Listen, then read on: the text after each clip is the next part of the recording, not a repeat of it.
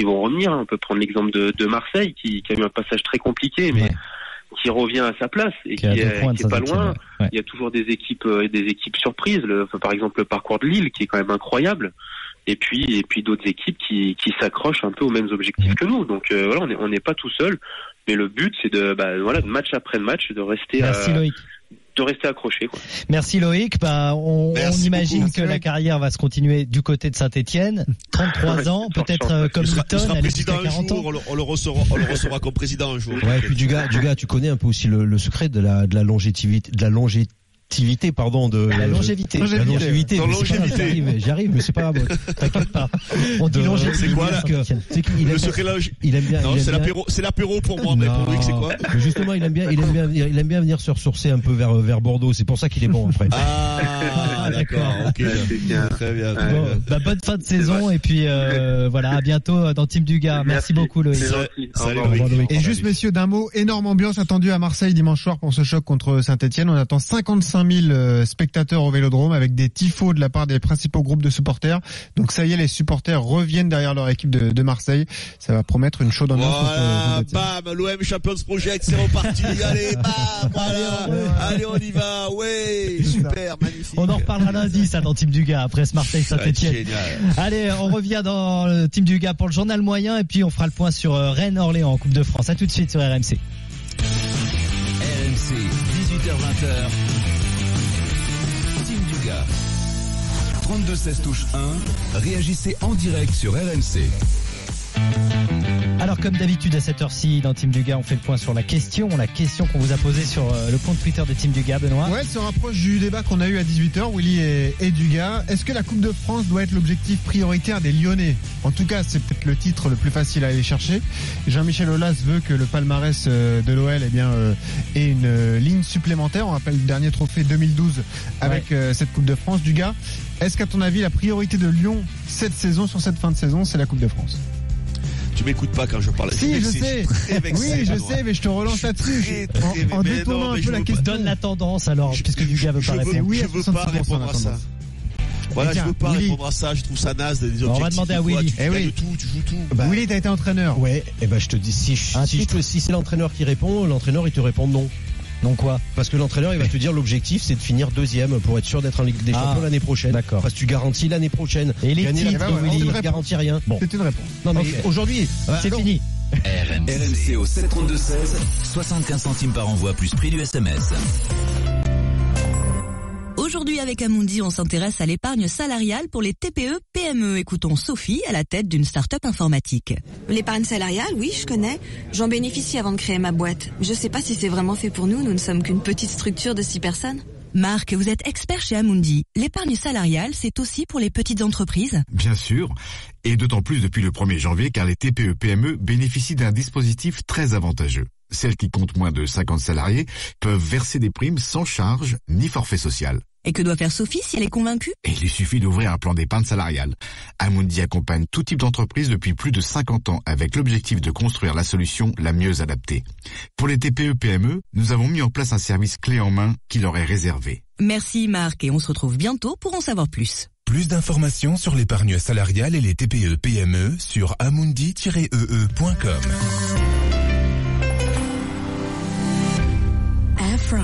France. La France. is in the air. La France est dans l'air. Dis Air France, moi je suis toute petite. Est-ce que ça veut dire que mon billet, il est plus petit que celui des grands? En quelque sorte. Chez Air France, le billet enfant est jusqu'à 30% moins cher qu'un billet adulte pour les voyages en famille. Et encore plus de surprises attendent vos enfants avec l'offre Kids. Air France. France La France. is in the air. Retrouvez toute notre offre famille sur airfrance.fr ou dans votre agence de voyage. Intersport. L'histoire de Célia, c'est l'histoire d'une rencontre avec un legging Reebok chez Intersport. Un legging tellement souple que depuis Célia, elle n'arrête pas. Échauffement, cardio, fitness, abdos, fessiers. Tu mérites le meilleur Célia, tous en pleine forme avec Intersport. Du 25 février au 10 mars, le legging Reebok Jimana Tank Femme est à seulement 24,99€ au lieu de 44,99€, soit moins 44%. Intersport, le sport, la plus belle des rencontres. Conditions et liste des magasins participants sur intersport.fr. Anne Rosincher, directrice déléguée de la rédaction de l'Express. Cette semaine, l'Express enquête sur une colère qui gronde. Nous, les petits blancs, disent-ils. Qui sont ces Français qui crient à l'abandon? Express, en vente chez votre marchand de journaux. Auchan et la vie change. Et pendant l'opération bébé d'Auchan, ce sont les voyages de Léo qui changent. Avec 50% de remise immédiate sur les sièges auto et réhausseurs. Par exemple, le siège auto A20 Auchan Baby est à 47,45€ au lieu de 94,90€. 50% Léo Tu seras le meilleur papa du monde. En tout cas, tu seras sur le podium, hein, ça c'est sûr. Jusqu'au 12 mars, vos hypermarchés Auchan et Auchan.fr proposent 50% de remise immédiate sur une sélection de sièges auto et réhausseurs Auchan Baby. Auchan. Voir conditions et produits concernés en magasin et sur Auchan.fr.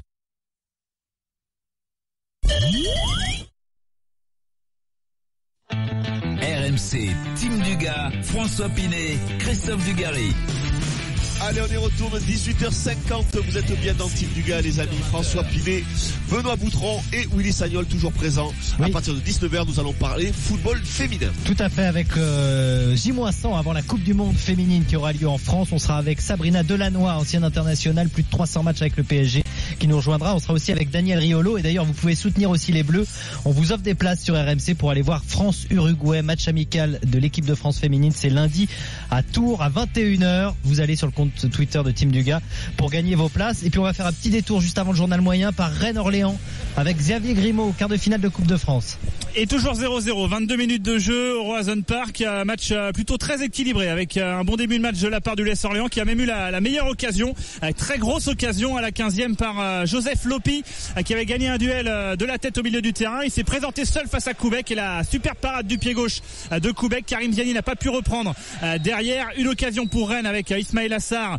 Petite vol dans la surface, ça a été contré en corner. Oh la frappe, le corner, le coup franc, est-ce qu'il y est? Le coup franc magnifique de Clément Grenier qui vient fracasser la transversale. Et je crois que c'est Ismail Assar qui doit reprendre ce ballon de la tête. Incroyable Quel coup de fusil lancé par euh, Clément Grenier. Alors il y a les, Orléan, les Orléanais qui euh, râlent. Et c'est Der Silva qui visiblement était là un petit peu surpris euh, de récupérer ce ballon. Ça ferait donc 1-0 pour le, le Stade Rennais. Il y a la vidéo. Ouais, va y avoir, il y a la vidéo, donc il va y avoir arbitrage vidéo. Honnêtement, euh, le coup franc part tellement vite que j'étais incapable de suivre euh, ce qu'il se passe après. En tout cas, coup de fusil, je vous tiens au courant. 0-0 toujours. Peut-être 1-0 pour Rennes dans un instant, la 23e. Xavier, tu nous confirmes le but dans un instant. On va commencer quand même avec le journal moyen. Tout le monde l'attend. Adrien. À la une du journal moyen de Team Dugas aujourd'hui sur RMC, peut-être une solution au problème de, de Dugas et François Pinet. Merci Adrien. Gros plan sur la méthode Unai Emery et puis un champion du monde 98, si on a le temps, se lance dans une nouvelle carrière. Il est excellent. Vous êtes prêts? Oui. Vous écoutez RMC, c'est le 103e journal moyen de l'histoire de Team Dugas. 120. Direct de la rédaction de RMC Sport, le journal moyen de Team Dugas, Adrien Egoin. Toujours pas la VAR Sans Toujours pas la VAR. Direction donc l'Espagne et Séville. Dans l'émission Le Vestiaire sur RMC Sport 1 l'ancien joueur de Séville Benoît Tremoulinas c'était l'invité lundi. Benoît a gagné quand même deux Ligues Europa avec le FC Séville sous les ordres d'Unai Emery. Il est très content d'avoir gagné deux, Ligues Europa. C'est quand même un truc qui compte dans un palmarès. Mais moment particulier pendant l'émission Tremoulinas parle de la méthode Emery.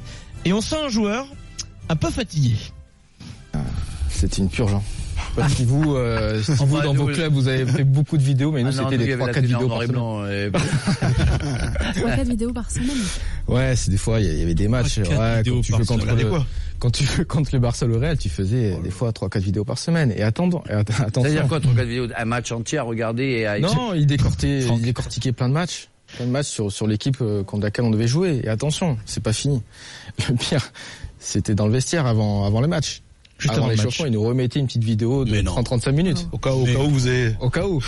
Et après, il faisait sa causerie, il nous faisait participer. Qu'est-ce qu'il faut faire pour gagner là, là, là, là, là. Dans le vestiaire, tu me perds. Il y en a beaucoup et c'était dur. C'est pour ça que ces deux ans étaient. Est-ce que est-ce que vous êtes fatigué Est-ce que, ça- est-ce que vous avez fini fatigué Au passage, vous avez noté la remarque de Manu. Au bout de 7 minutes, Ah oui. je décroche. Voilà, c'est Manu Petit. C'est long, comme ça. minutes. Écoutez la suite. Est-ce qu'il est fatigué Est-ce qu'il est sorti fatigué de cette aventure Benoît Trémoulinas. Est-ce que vous êtes fatigué Est-ce que c'est un, c'est un coach qui euh, Ah, il m'a moi, il m'a épuisé. Je pense Ouais. qu'il a pas pu faire épuisé. pareil dans à les Paris. méthodes et dans Non, les... c'est impossible. Moi, il m'a, honnêtement, il m'a épuisé. Il m'a épuisé. T'as épuisé. tu l'as dit Tu l'as dit ou Hein Ouais, des fois, il le voyait. Ah ouais Il le voyait. T'imagines, tu Il fais une heure de vidéo avant l'entraînement, t'as plus d'influx nerveux après. T'as pas envie de t'entraîner. Vous l'avez côtoyé euh, deux ans hein, à, à ouais. Séville. Ouais. Qu'est-ce que vous ah, ça m'embête. Euh, Excuse-moi, Sarah, je te coupe. Ouais. Ça m'embête parce que c'est vrai que je suis vachement négatif sur Odaï, mais mais mais voilà, on, on, est- Honnête. on, est- on, est- on est- je suis Non, mais honnête et on peut le comprendre. En plus, je pense je suis obligé que d'en parler. Voilà, il voulait en parler. Alors après, il a précisé hein, son palmarès. Il est, bah, il est très fier. Il est très fier aussi d'avoir été euh, euh, coaché par Unai Emery. Mais tu sens que la méthode est quand même du gars. Euh, a laissé des traces. C'est- incroyable. mais- hein mais mais la limite, elle est peut-être là. C'est-à-dire que c'est une méthode qui, qui, qui a fonctionné avec un certain type de joueurs avec Mm. le FC Séville, parce que même si ça les embêtait, ça a fonctionné, les joueurs ont adhéré, parce qu'ils ont gagné. Par contre, filer des vidéos euh, quatre fois par semaine à des stars, à Neymar, ou à d'autres, ouais, peut-être, ouais. voilà, peut-être que ça fonctionne moins bien. C'est pour ça que il a peut-être eu du mal à s'adapter. Ça fonctionne aussi un peu du côté d'Arsenal. Et dans des clubs un petit peu plus huppés, avec des grands joueurs, avec un peu plus de caractère et tout ça, ça marchera Ça marche pas. moins Ouais. bien cette méthode. Eh oui, ça marche, ça marche pas. Juste pour vous dire que le but a été annulé, toujours 0-0 entre Rennes et Orléans. Il y avait Tout une ça main de pour Da ça. Silva. Eh Bah oui, oui, c'est Eh barre. ouais. On a le temps, est-ce que Ah, notre c'est- producteur nous autorise à, à- à repartir bah, à Madrid On part à Madrid directement là avec des nouvelles de Cristiano. Vous avez évoqué le sujet rapidement hier. Euh, Cristiano, qui en plus d'être une star du foot, est aussi un homme d'affaires et il est déjà associé dans plusieurs business. Euh, le journal portugais L'Expresso nous explique que Cricri a décidé de s'associer dans un nouveau projet donc qui va plaire à François Pinet et à Dugas. Willy, pour nous, pour le moment, nous, on n'est pas vraiment euh, concernés. Faites attention. Cristiano s'est associé à, à son compatriote Paulo Ramos, qui est un spécialiste de ce sujet-là, pour créer une société qui s'appelle Insparia, ok, société spécialisée dans donc les implants capillaires. Donc François Dugas, ça peut vous intéresser. Je vous donne tous les infos, Ah, toutes les c'est- infos. J'ai des détails, Dugas. Je crois que c'est trop Ça tard. coûte, ça coûte combien Ça coûte Le, combien le déjà 18 mars déjà, il y a euh, l'entreprise qui ouvre à Madrid sa première clinique, d'accord? Mmh. Vous pouvez aller à Madrid, c'est rapide, surface de 2500 mètres carrés, dans laquelle évolueront 150 professionnels capables d'effectuer 18 transplantations par jour. Le tout facturé donc du gars entre 3000 et 6000 euros euh, la, la, prestation.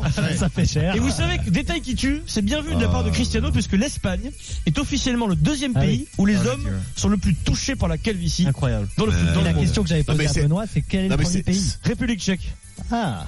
C'est incroyable, hein Non mais c'est un métier, Ah c'est un métier d'avenir, il y a pas de souci, mais faut pas me faire croire que François, il y en a entre 3000 et 6000 euros, il y en a au moins le triple, plus. Bah au oui, moins le triple. Mais vous plaisantez. ça t'intéresse pas, toi, Non, mais il y a- y tout le terrain à refaire, il y a tout le terrain à refaire, c'est impossible. Mais Vous plaisantez ou quoi Du, du gars, on te propose d'avoir des cheveux de nouveau là. tu- Non, tu acceptes non, non, non, non, Non, il se trouve bien non, plus beau non. Il a toujours encore gars. le serre-tête, c'est Non. ça la question. Ah ben il l'a gardé, il l'a accroché chez lui. Moi, ce que je préférais chez Dugas, c'était à l'époque l'écarteur Ah oui, de narine. Ah oui. Grande note. Tête écarteur de narine. Merci beaucoup Adrien, merci pour les conseils. À demain. J'irai peut-être euh, du côté Jaloux. de l'Espagne. Passe un petit coup de fil sur à la Cristiano. clinique euh, Il est ambassadeur pour notre Mais j'attends toujours que que Dugas m'aide un petit peu sur ce coup-là. Un petit chèque. Oh là Hein, Dugas là, là, que des Merci. gratteurs, hein. Merci, dingue Dugas. à RMC. Je te remercie. Toujours en train de se plaindre, Bon, les merci, pauvres. Willy Toi aussi, tu mets dans un confort. Merci Willy, merci. À bientôt dans Type du gars Dugas, et on parle de Coupe du Monde féminine. C'est dans 100 jours, mais on en parle tout à l'heure, à partir de 19h sur RMC dans Team du gars. À tout de suite.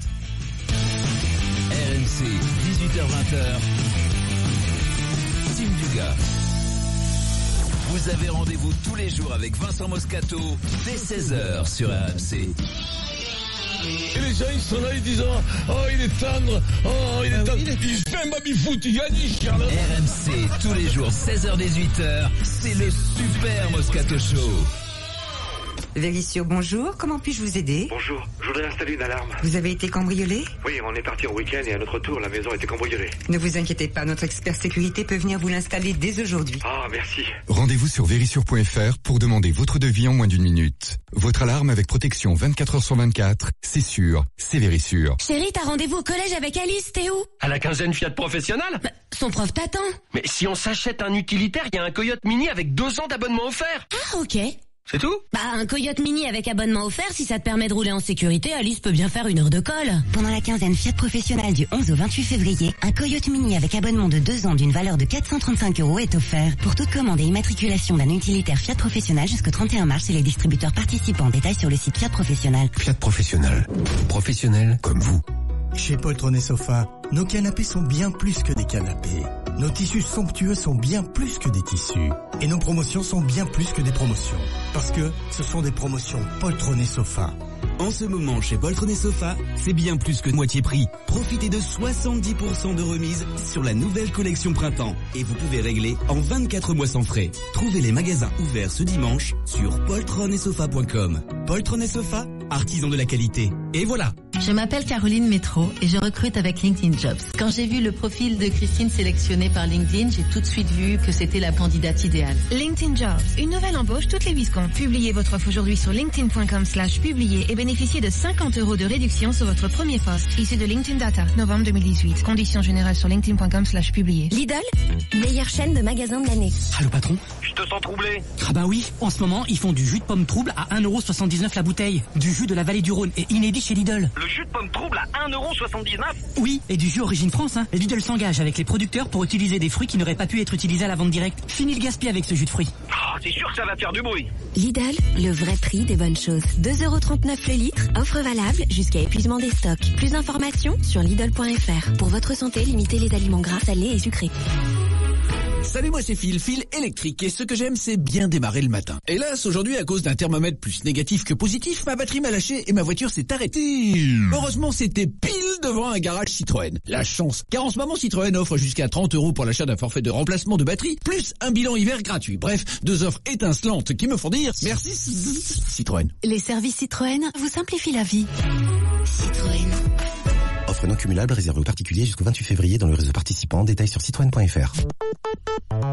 Les moules sont de retour, cuisinés en recette marinière, mmh, fraîches et délicieuses, avec des petits légumes. Pour vous donner la frite, flunchez-les à volonté. En ce moment, les moules frites sont à volonté tous les soirs et le dimanche à 8,95€. Ça, c'est flunch. Voir conditions sur flunch.fr. Il s'approche dangereusement du milieu de terrain. Revers le long de la ligne. Attention à la réaction. Oh, pleine lucarne Mais il n'a pas dit son dernier mot. Oh, il tente le dunk Avec Combimax de PMU Sport, pariez en combiné et remportez jusqu'à 75% de gains supplémentaires. Et en ce moment, jusqu'à 100 euros offerts pour toute ouverture d'un compte sur PMU.fr. Conditions et informations sur PMU.fr. Jouer comporte des risques. Appelez le 09 74 75 13 13. Appel non surtaxé. RMC. Allez, c'est reparti pour la deuxième heure de Team Dugas. C'est sur RMC avec Daniel Riolo et Sabrina Delannoy qui, va nous rejo- qui vont nous rejoindre. Pardon.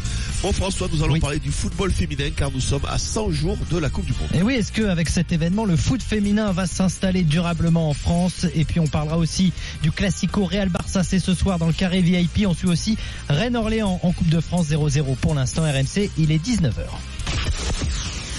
À la radio, sur votre portable, votre tablette, sur Internet, RMC. Et avant le retour de Team Dugas, les infos avec Pierre Pilet. Bonsoir Pierre. Bonsoir. À trois mois des élections européennes, la République en marche et le Rassemblement national au coude à coude dans les intentions de vote. Résultat d'un sondage Elab pour BFM TV. Le parti de la majorité recule, celui de Marine Le Pen progresse. Les deux sont à 22%. Derrière, on trouve les Républicains, Europe Écologie Les Verts et la France Insoumise. Président et gouvernement surpris par la montée en puissance des Pays-Bas au capital d'Air France KLM, une nation qui possède presque 13% désormais du groupe franco-néerlandais. L'État français détient un peu plus de 14% des parts. Emmanuel Macron veut en savoir plus sur les intentions d'Amsterdam. Ce qui importe, c'est que l'intérêt de la société soit préservé, que le droit des sociétés soit respecté et qu'en aucun cas des débats de politique intérieure ne soient importés autour de la table du conseil d'administration. Et donc pour le reste, nous souhaitons un groupe Air France KLM qui soit fort et les clarifications qui sont attendues. Votre météo demain, une perturbation arrive par l'Atlantique, alternance de pluie et d'éclaircies dans la moitié nord, soleil dans la moitié sud, température au lever du jour 2 degrés à Valence, 4 à Strasbourg, 5 à Limoges et Lille, 7 à Marseille, 9 à Paris. La météo avec la Caisse d'épargne. 3000 experts en région au service des professionnels et des entreprises. Caisse d'épargne, vous être utile. Presque 19h04 sur RMC, revoici Team Dugas. Merci beaucoup Pierre. Allez, c'est reparti pour la deuxième heure de Team Dugas. C'est jusqu'à 20h sur RMC. Nous allons parler du football féminin avec le mondial qui débute dans 100 jours. Je pense qu'il faut arrêter de comparer le foot féminin au football masculin. RMC. RMC, Team Dugas, François Pinet, Christophe Dugarry. Rebonsoir les amis, nous sommes de retour pour la deuxième heure de Team Dugas, toujours avec François Pinet et Benoît Boutron. Présent. Bonsoir messieurs, On est là, rebonsoir messieurs, évidemment. toujours présents En pleine forme, Bon, magnifique, présent. magnifique. Voilà, vous endormez pas, c'est la deuxième heure que ça envoie le plus, je vous le dis de suite. T'inquiète, on est là. Ah bah, ouais, ah bah c'est pour ça. Ah bah. Daniel Riolo est avec nous, c'est pour ça que ça envoie le plus dans cette deuxième heure. Bonsoir Daniel, comment ça va? Salut Christophe, salut tout le monde, ça va très bien, merci. Bon, enfin, je suis ravi d'accueillir pour une première Sabrina Delannoy qui est avec nous. Bonsoir Sabrina. Christophe, bonsoir tout le monde. Bienvenue dans Team du gars. Merci. Un peu intimidé. Un petit peu, forcément, mais en tout cas, je suis ravie d'être parmi vous ce soir. Euh, c'est Daniel Riolo qui t'impressionne, c'est ça? Ouais, je suis en face de lui, j'ai un petit peu peur. Ah, ouais, Tu ah, l'écoutes, ouais, ah, tu l'écoutes dans Ah, l'after, ouais. tu nous écoutes. Ah oui. Sûr. Ah oui. Ouais. Bah, il mord pas, il mord pas. personne, moi, il a, il a, il a boit, il a pareil. mais il mord pas. Non, même il est loin de lui, donc ça va. Je vais me lever, moi. Je peux me lever et vous mettre. euh, il peut se passer Non, n'importe mais quoi. Daniel, il s'énerve après après 20h. Avant 20h, ça va, puis après 20h. Oh, ça dépend. Sabrina, le plus dangereux, si, tu- je ne si comprends tu pas es, de quoi vous parlez. ouais, si tu es entre nous deux, c'est plus compliqué. Là, t'as que Daniel d'un côté, tu devrais pouvoir y arriver. Bon, je vais gérer alors, Ça ça. Ça Sabrina, qui est directrice adjointe de la fondation du PSG, euh, qui a quitté les terrains en juin 2017, plus de 300 matchs avec le Paris Saint-Germain quand même, euh, 39 sélections avec les Bleus, qui a disputé euh, un Euro, une Coupe du Monde en 2015 et les Jeux Olympiques avec l'équipe de France. Donc on va parler bien sûr de cette Ouais, Coupe du Monde arrête, qui arrive. là. T'es en train, Ah t'es ouais, en train ouais. de me filer la honte. Ah, t'es en train de me filer la honte là. Ah, c'est pas mal. C'est bon, arrête maintenant. Ah, c'est ça, tu veux me ridiculiser. Pas Merci. tout. Ah ouais, c'est ça, ouais, d'accord. Salaud. ouais. Est-ce que euh, la Coupe du Monde en France va permettre au foot féminin de s'installer? On en parle dans un instant. Daniel, tu voudras venir aussi sur les coachs français.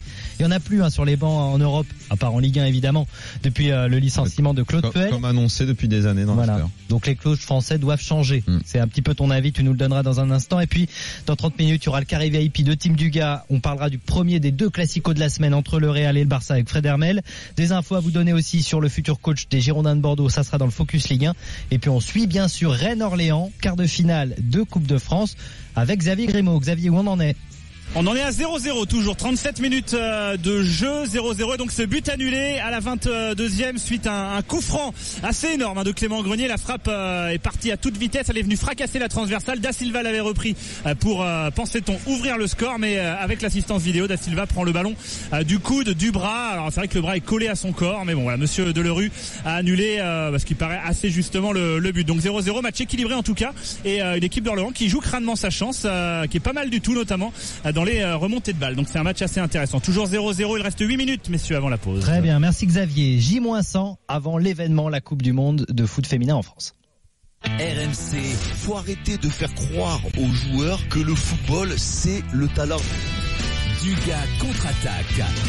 Une des belles phrases qu'on peut entendre quand on écoute Ah, Team ouais. De- Sabrina ouais, adore. ah. J'adore. Ah, oui, j'en sors, j'en, j'en- j'en sors des bêtises. hein. Mon Dieu, quand tu les réécoutes, quand tu les dis, tu, tu, tu penses que ça va passer. Il y a quelques imbéciles qui vont, qui vont y croire. Mais quand tu les réécoutes, tu te dis, c'est pas possible. C'est pas possible. La Coupe du Monde féminine aura lieu en France du 7 juin au 7 juillet. Événement à suivre sur RMC. Ça débutera le 7 juin par France-Corée du Sud au Parc des Princes. Les Françaises qui sont dans le groupe de la Norvège et du Nigeria. Est-ce que grâce à cet événement, le foot féminin va définitivement s'installer ou en tout cas s'installer un peu plus en France? 32-16 pour nous joindre. Le hashtag pour réagir sur Twitter.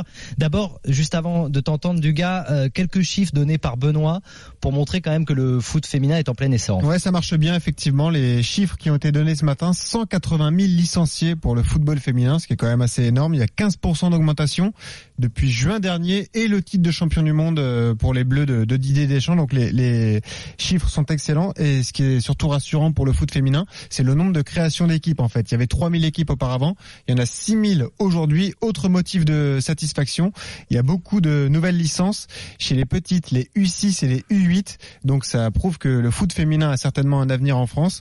On rappelle que l'objectif de, de la Fédé, c'est 2020, 250 000 licenciés. Mais si on suit la courbe de progression, on devrait pouvoir y arriver. Et avec en plus le mondial en France, euh, sont des, des chiffres a priori atteignables pour le football français féminin. Ouais, il y a un réel engouement en plus euh, qui se prépare pour ce mondial. Euh, Dugas, toi, tu penses que justement c'est le moment et que le football féminin va s'installer grâce notamment à ce mondial en France Écoute, je, alors je suis pas un spécialiste du football féminin, mais j'ai l'impression qu'il est plutôt bien installé, il est plutôt bien euh, traité. Alors après, euh, on veut toujours plus, et c'est et c'est légitime, et c'est euh, c'est légitime de demander ça, et c'est à juste titre.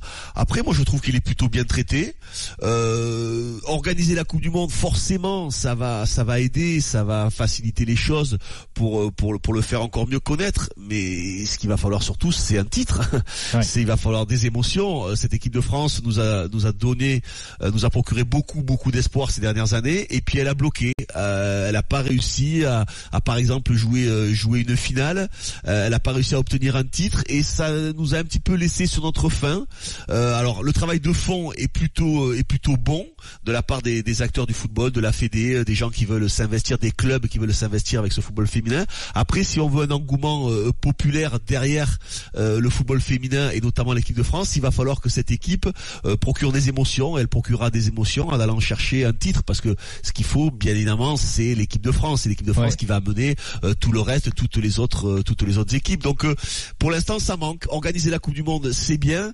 Essayer de la gagner ou au moins faire une finale ou je crois que même en demi-finale, si on avait été, je crois en demi-finale. Demi-finale en semble. 2011, 2011, Coupe du Monde. Voilà, c'est ça. C'est ça. aussi, Donc, 2012. il faut il faut essayer d'aller un petit peu plus haut pour que pour que l'engouement soit définitif et que définitif pardon et que le football féminin s'installe définitivement dans le dans le paysage euh, footballistique. Sabrina, j'imagine que tu partages euh, ce que vient de dire Dugas. Euh, Tu penses que le mondial et l'équipe de France doivent être justement porteurs pour ce football féminin en France? Oui, exactement. Ça peut être une excellente caisse de résonance finalement pour le, le football féminin et le fait qu'il y ait des jeunes filles qui s'inscrivent dans les clubs, qu'il y ait de plus en plus de clubs et de sections féminines, c'est aussi un bon signe et ça fera partie des, des vecteurs qui vont permettre au football féminin de se développer.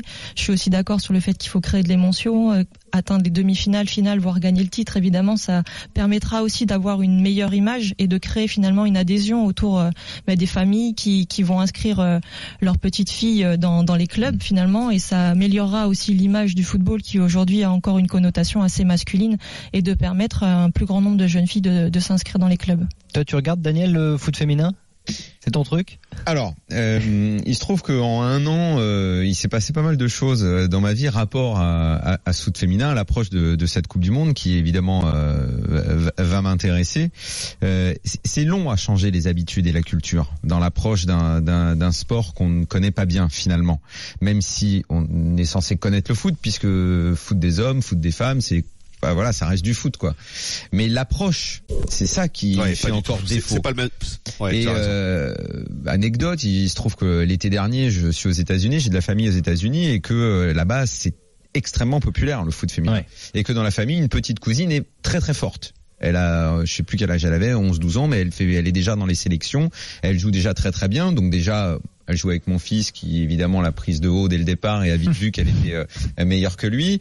Et on commence à discuter et eux déjà envisagent de faire le voyage pour venir voir la Coupe du Monde en France. Donc c'est quelque chose d'important. Et là en discutant ils se rendent compte du décalage culturel entre leur approche et la mienne. Ils me disent mais tu es dans un pays où le foot est très important, euh, où euh, vous vivez dans la culture foot et tu me dis que le foot féminin ça ne te parle pas. Et je dis oui et tout et là on se fait un petit jeu même sur les audiences. Je dis mais tu sais c'est pas beaucoup regardé et tout ça. Et euh, eux à 10 000 kilomètres euh, me battent sur les audiences que le foot féminin peut faire à la télé en France. Je pensais que ça faisait beaucoup moins. On vérifie, internet, machin. Donc j'ai dit ah ouais, bon, bah, déjà euh, c'est un peu plus suivi que que je le pensais. Donc déjà je change, tu vois. C'est pas que je change de point de vue, mais en tout cas euh, euh, je m'y intéresse un petit peu. Euh, second événement dans ma vie sur la dernière année, il se trouve que Ma femme prépare un documentaire euh, sur euh, la Coupe du Monde de foot féminin qui va avoir lieu au mois de juin, donc elle est à fond dedans. Euh, du coup, je m'y intéresse un petit peu. Je dis mais qu'est-ce que tu fais? Et elle suit des filles et les portraits et elle découvre que ce sont des, des, des- filles euh, extraordinaires. Euh, je me suis mis à regarder certains matchs et là, c'est pour ça que je parle de culture et d'habitude. C'est là qu'il y a encore un truc qui bloque. Et ce truc qui bloque, en fait, c'est c'est difficile à expliquer. Pourquoi elle me dit, elle regarde, elle me dit, pourquoi si tu regardes, j'adore le tennis, tout le monde le sait. Elle me dit, si tu regardes euh, Serena Osaka, finale du dernier US Open, tout le monde a vu, c'est un match euh, extraordinaire. ça. Elle me dit, tu ne penses à aucun moment quand tu regardes.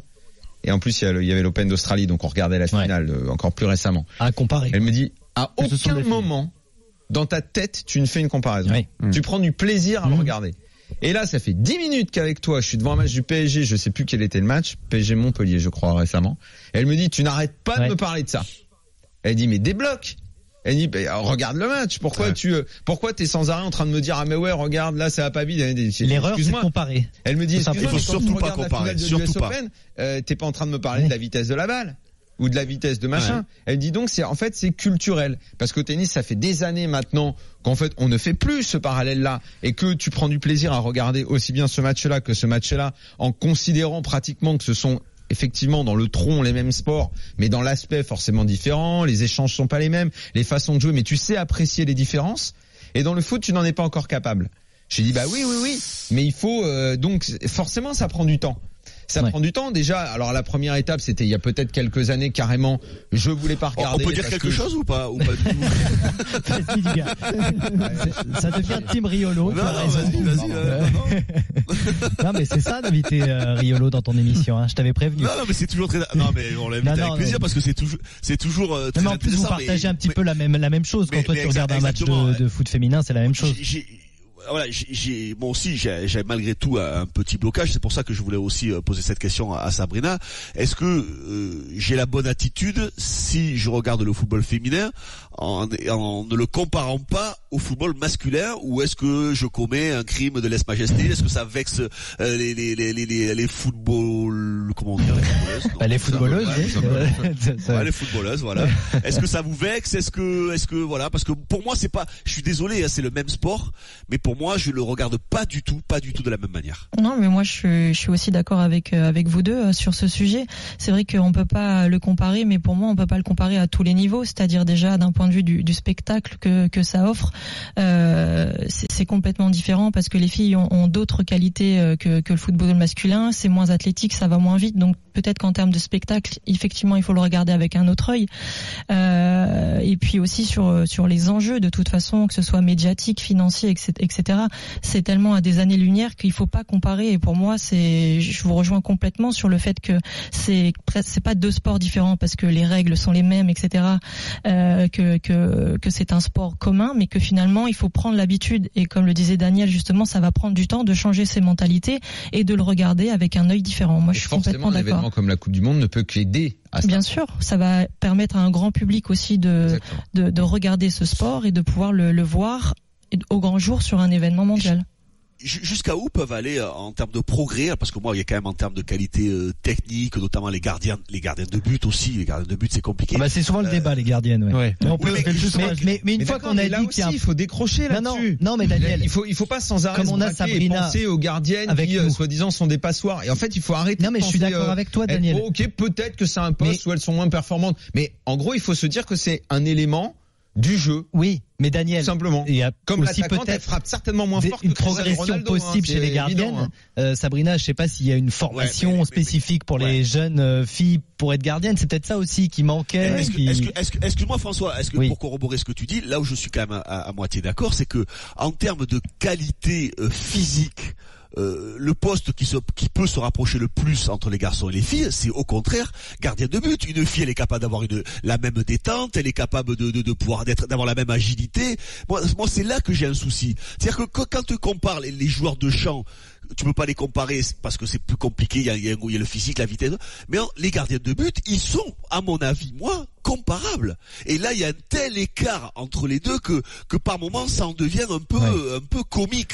Euh, sincèrement, les filles, non mais elles ont l'agilité dans tous les sports. Elles, elles savent faire euh, les mêmes choses que les garçons, peut-être un peu moins vite, un peu un peu moins rapidement, mais mais elles savent faire la même chose. après j'ai l'impression que c'est un poste spécifique quand même qui a. Après, le- à la dernière finale de Ligue des Champions, seul Carlus, il a fait rigoler aussi. Hein, avec le Oui, Carlus, pris. c'est vrai. Non mais Sabrina a peut-être une explication justement. Oui. Mais en fait, mon avis, moi, tout simplement, c'est que ça va une fois de plus prendre du temps parce que dans les dans les mœurs, si on prend, euh, je pense les, les clubs de football féminin aujourd'hui très peu ont un entraîneur spécifique sur les gardiens de but, comme ça pouvait être le cas il y a 10 ou 15 ans où il n'y avait pas de préparateur athlétique dans les staffs. Mhm. Aujourd'hui, le poste euh, d'entraîneur euh, de, de gardien de but n'existe pas Voilà. et c'est quelque chose qu'on a pris aussi avec beaucoup de retard.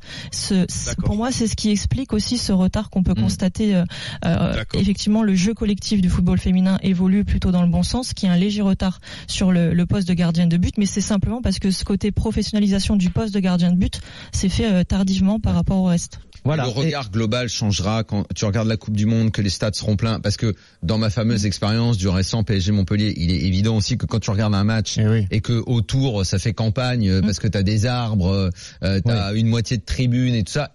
Évidemment que l'œil euh, se dit ah bah tiens ça c'est pas sérieux. Mmh, bien sûr, mais c'est ça mais ça serait mais ça serait un match de Coupe de France d'hommes euh, dans je sais plus là le, le dernier qui était comme ça c'était Vitré euh, Lyon la Duchère où il y avait les bâtiments avec les gens au balcon. Bah évidemment que ça fait pas sérieux non plus. Donc ça c'est l'habillage mais l'habillage ça vaut pour la Ligue 1 euh, pour la Première Ligue c'est tout ça et la Coupe du Monde où il y aura des beaux stades et visiblement ils vont ils seront tous pleins ça ne pourra qu'améliorer le spectacle et visuellement euh, rendre la compétition. Vous savez très quoi On va peut-être tous, en progresser fait. aussi par rapport à nous quand on arrêtera de faire ce débat-là. Est-ce que le foot féminin a du retard, etc. Quand on parlera vraiment euh, du en foot, fait, c'est euh, culturel. on en parle du foot euh, masculin, Et quand on parlera un des joueuses, de- François. Et ça, c'est sûr que ça prend forcément du temps. C'est de l'installation. C'est aussi ne pas connaître le passé. Parce qu'il, bien quand sûr. on va regarder la Coupe du Monde, quand on va faire les débriefs des matchs de l'équipe de France, tu vas aller dire euh, un tel, euh, parce que toi quand tu regardes une Coupe du Monde de- de- d'hommes, tu te dis ah ben la performance d'un tel, tu la relativises par rapport à ce que tu as vu de Maradona, les plus anciens par rapport à ce qu'ils ont vu de Pelé. Si tu parles des Français, euh, de comparer à Zidane, à Platini, machin. nous le truc c'est qu'on on n'a pas de passé. Donc c'est compliqué. Tu, vas- sport tu vas regarder ouais. Amandine Henry, tu vas dire bon bah alors ce qu'elle fait c'est fantastique, mais est-ce qu'il y en avait d'autres qui étaient fortes comme ça? Tu vois en fait c'est c'est un territoire neuf et il faut découvrir ce territoire. Et ce qui peut être positif aussi d'ailleurs. Ouais ouais bien sûr bien sûr. Bien sûr. Et juste un petit mot sur euh, l'affluence, puisqu'il y a euh, 500 000 billets qui ont déjà été vendus. Il y a 23% des billets qui ont été vendus aux États-Unis, donc ça confirme ce que tu as dit, Daniel. 53% pour le public français. Et l'objectif, c'est 1,3 million. On peut juste souligner la bonne initiative de la fédération qui, plutôt que de mettre des places chères, a privilégié les packs et les euh, places bon marché pour euh, permettre euh, aux familles de venir tout ensemble au stade, et ce qui va remplir les enceintes pour toute cette Coupe du Monde a priori. Après, comme chez les hommes, parfois il y a aussi les gens qui doivent parler de ce sport et faire la promo, doivent s'y mettre un peu aussi. Un petit La- peu. la- la Un petit effort à faire, ouais. Si elle pouvait sourire un peu de temps en Corinne temps, Diacre. et être un peu moins stressée parce que Ouais, ils vont gagner, ils vont- elles vont gagner les filles. Elle déteste les médias, quoi. Je peux dire. poser une question à Sabrina quand même. On a invité Pardon, pour ça. Elles ont des bonnes chances de gagner. Honnêtement, oui, parce qu'en plus, euh, il y, a, il y a quand même l'avantage de, de jouer en France. C'est quand même pas, c'est quand même pas anodin et ça peut vraiment les aider. Elles ont de, de très bons résultats sur les dernières campagnes de, de matchs amicaux. Honnêtement, il y, a un, il y a un vrai potentiel et je pense que Ah, les le filles quart, aussi hein, ont une, joue sur le quart de finale. ont une les motivation. Ouais. Elles ont battu le Brésil, les États-Unis ouais. en Non, le match, ce sera France-États-Unis en quart elle de joue finale. contre l'Allemagne euh, jeudi à, à Laval, l'équipe de France. Sabrina, tu restes avec nous bien sûr parce que ça va être la minute Riolo. Attention. C'est bien aussi de pas chercher Encore à pouvoir dire du mal de quelqu'un et de quelque chose quand c'est que positif. J'ai l'impression qu'on a eu plein de minutes Riolo là. Ah oui, c'est ça, c'est ce que j'allais dire. Encore une minute riolo. Ah, putain, Ouais, je vous dis Moi, juste je que veux, je veux bien pas la faire. hein. Je, je, je Bah cède à si. Sabrina la minute. hein, y a pas de Bah problème. si, hein. ça faisait Non, mais longtemps Sabrina pourra intervenir évidemment dans la minute de Daniel. C'est la mi-temps en fait à Rennes entre Rennes et Orléans 0-0. Euh, tu voulais revenir sur euh, les propos d'Antoine Comboiré qui a dit euh, hier que bah, les coachs français devaient changer. On va on va l'écouter d'ailleurs juste avant de t'entendre. Faut que nous on fasse un peu plus d'efforts donc euh, au niveau de la capacité à pouvoir donc euh, s'exprimer dans toutes les langues hein, que ce soit en espagnol en anglais en allemand. On voit les allemands quand ils viennent ici ils sont capables d'apprendre le français. Nous on a un souci à ce niveau là puis après donc bien sûr peut-être s'ouvrir un peu plus. Après ce qui m'embête surtout c'est en France euh, chez nous il faut que les dirigeants fassent un peu plus confiance aux entraîneurs français. Il y en a de très bons Voilà, Antoine Comboiré, c'était après la défaite de Dijon contre le PSG. Euh, Il parlait à la fois du départ de Claude Puel de Leicester. Il y a plus d'entraîneurs français sur un banc à l'étranger et aussi de la possible venue d'un entraîneur étranger à Bordeaux. Bah écoute, euh, on pourrait ressortir le jingle. euh, c'est comment quand je dis euh, nous dans l'after, ça fait 10 ans qu'on le dit? C'est ça. Voilà. Bon, euh, là pour le coup, c'est vraiment un sujet euh, qui nous intéresse depuis des années parce que évidemment qu'il suffisait de voir ce qui se passait dans la formation de nos entraîneurs pour se pour deviner que ça allait arriver. Euh, donc il n'y a plus un entraîneur à l'étranger pendant longtemps.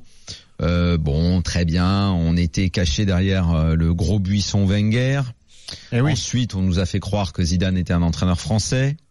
Évidemment, alors qu'il ne l'est pas, que toute sa formation et sa mentale n'est pas française dans son mode, parce que s'il avait appris à bosser, euh, enfin, tu vois, voilà, bon, bref, je vais pas refaire l'histoire, Ancelotti, euh, euh, Lippi, ses mentors qui ne sont évidemment pas français. Euh, on- tout ça, ça cachait un petit peu la réalité, mais la réalité, euh, c'est que dans les clubs en France, on ne veut plus d'entraîneurs français. À Bordeaux, ils ne veulent même pas entendre parler de la moitié d'un coach français. Donc ce sera un étranger. Euh, comme euh, pendant longtemps, on a pensé également euh, à Nice, avant que Vieira, parce que justement il était passé par l'étranger. En fait, notre blocage, il est là. que l'entraîneur français, si c'est un joueur qui a beaucoup vécu à l'étranger, qui a beaucoup bossé avec des étrangers, il n'aura pas la même image que si c'est un franco-français. Le franco-français né dans notre euh, circuit DTN, euh, euh, moulé une CATEF, formation Clairefontaine et tout, c'est mort, c'est fini.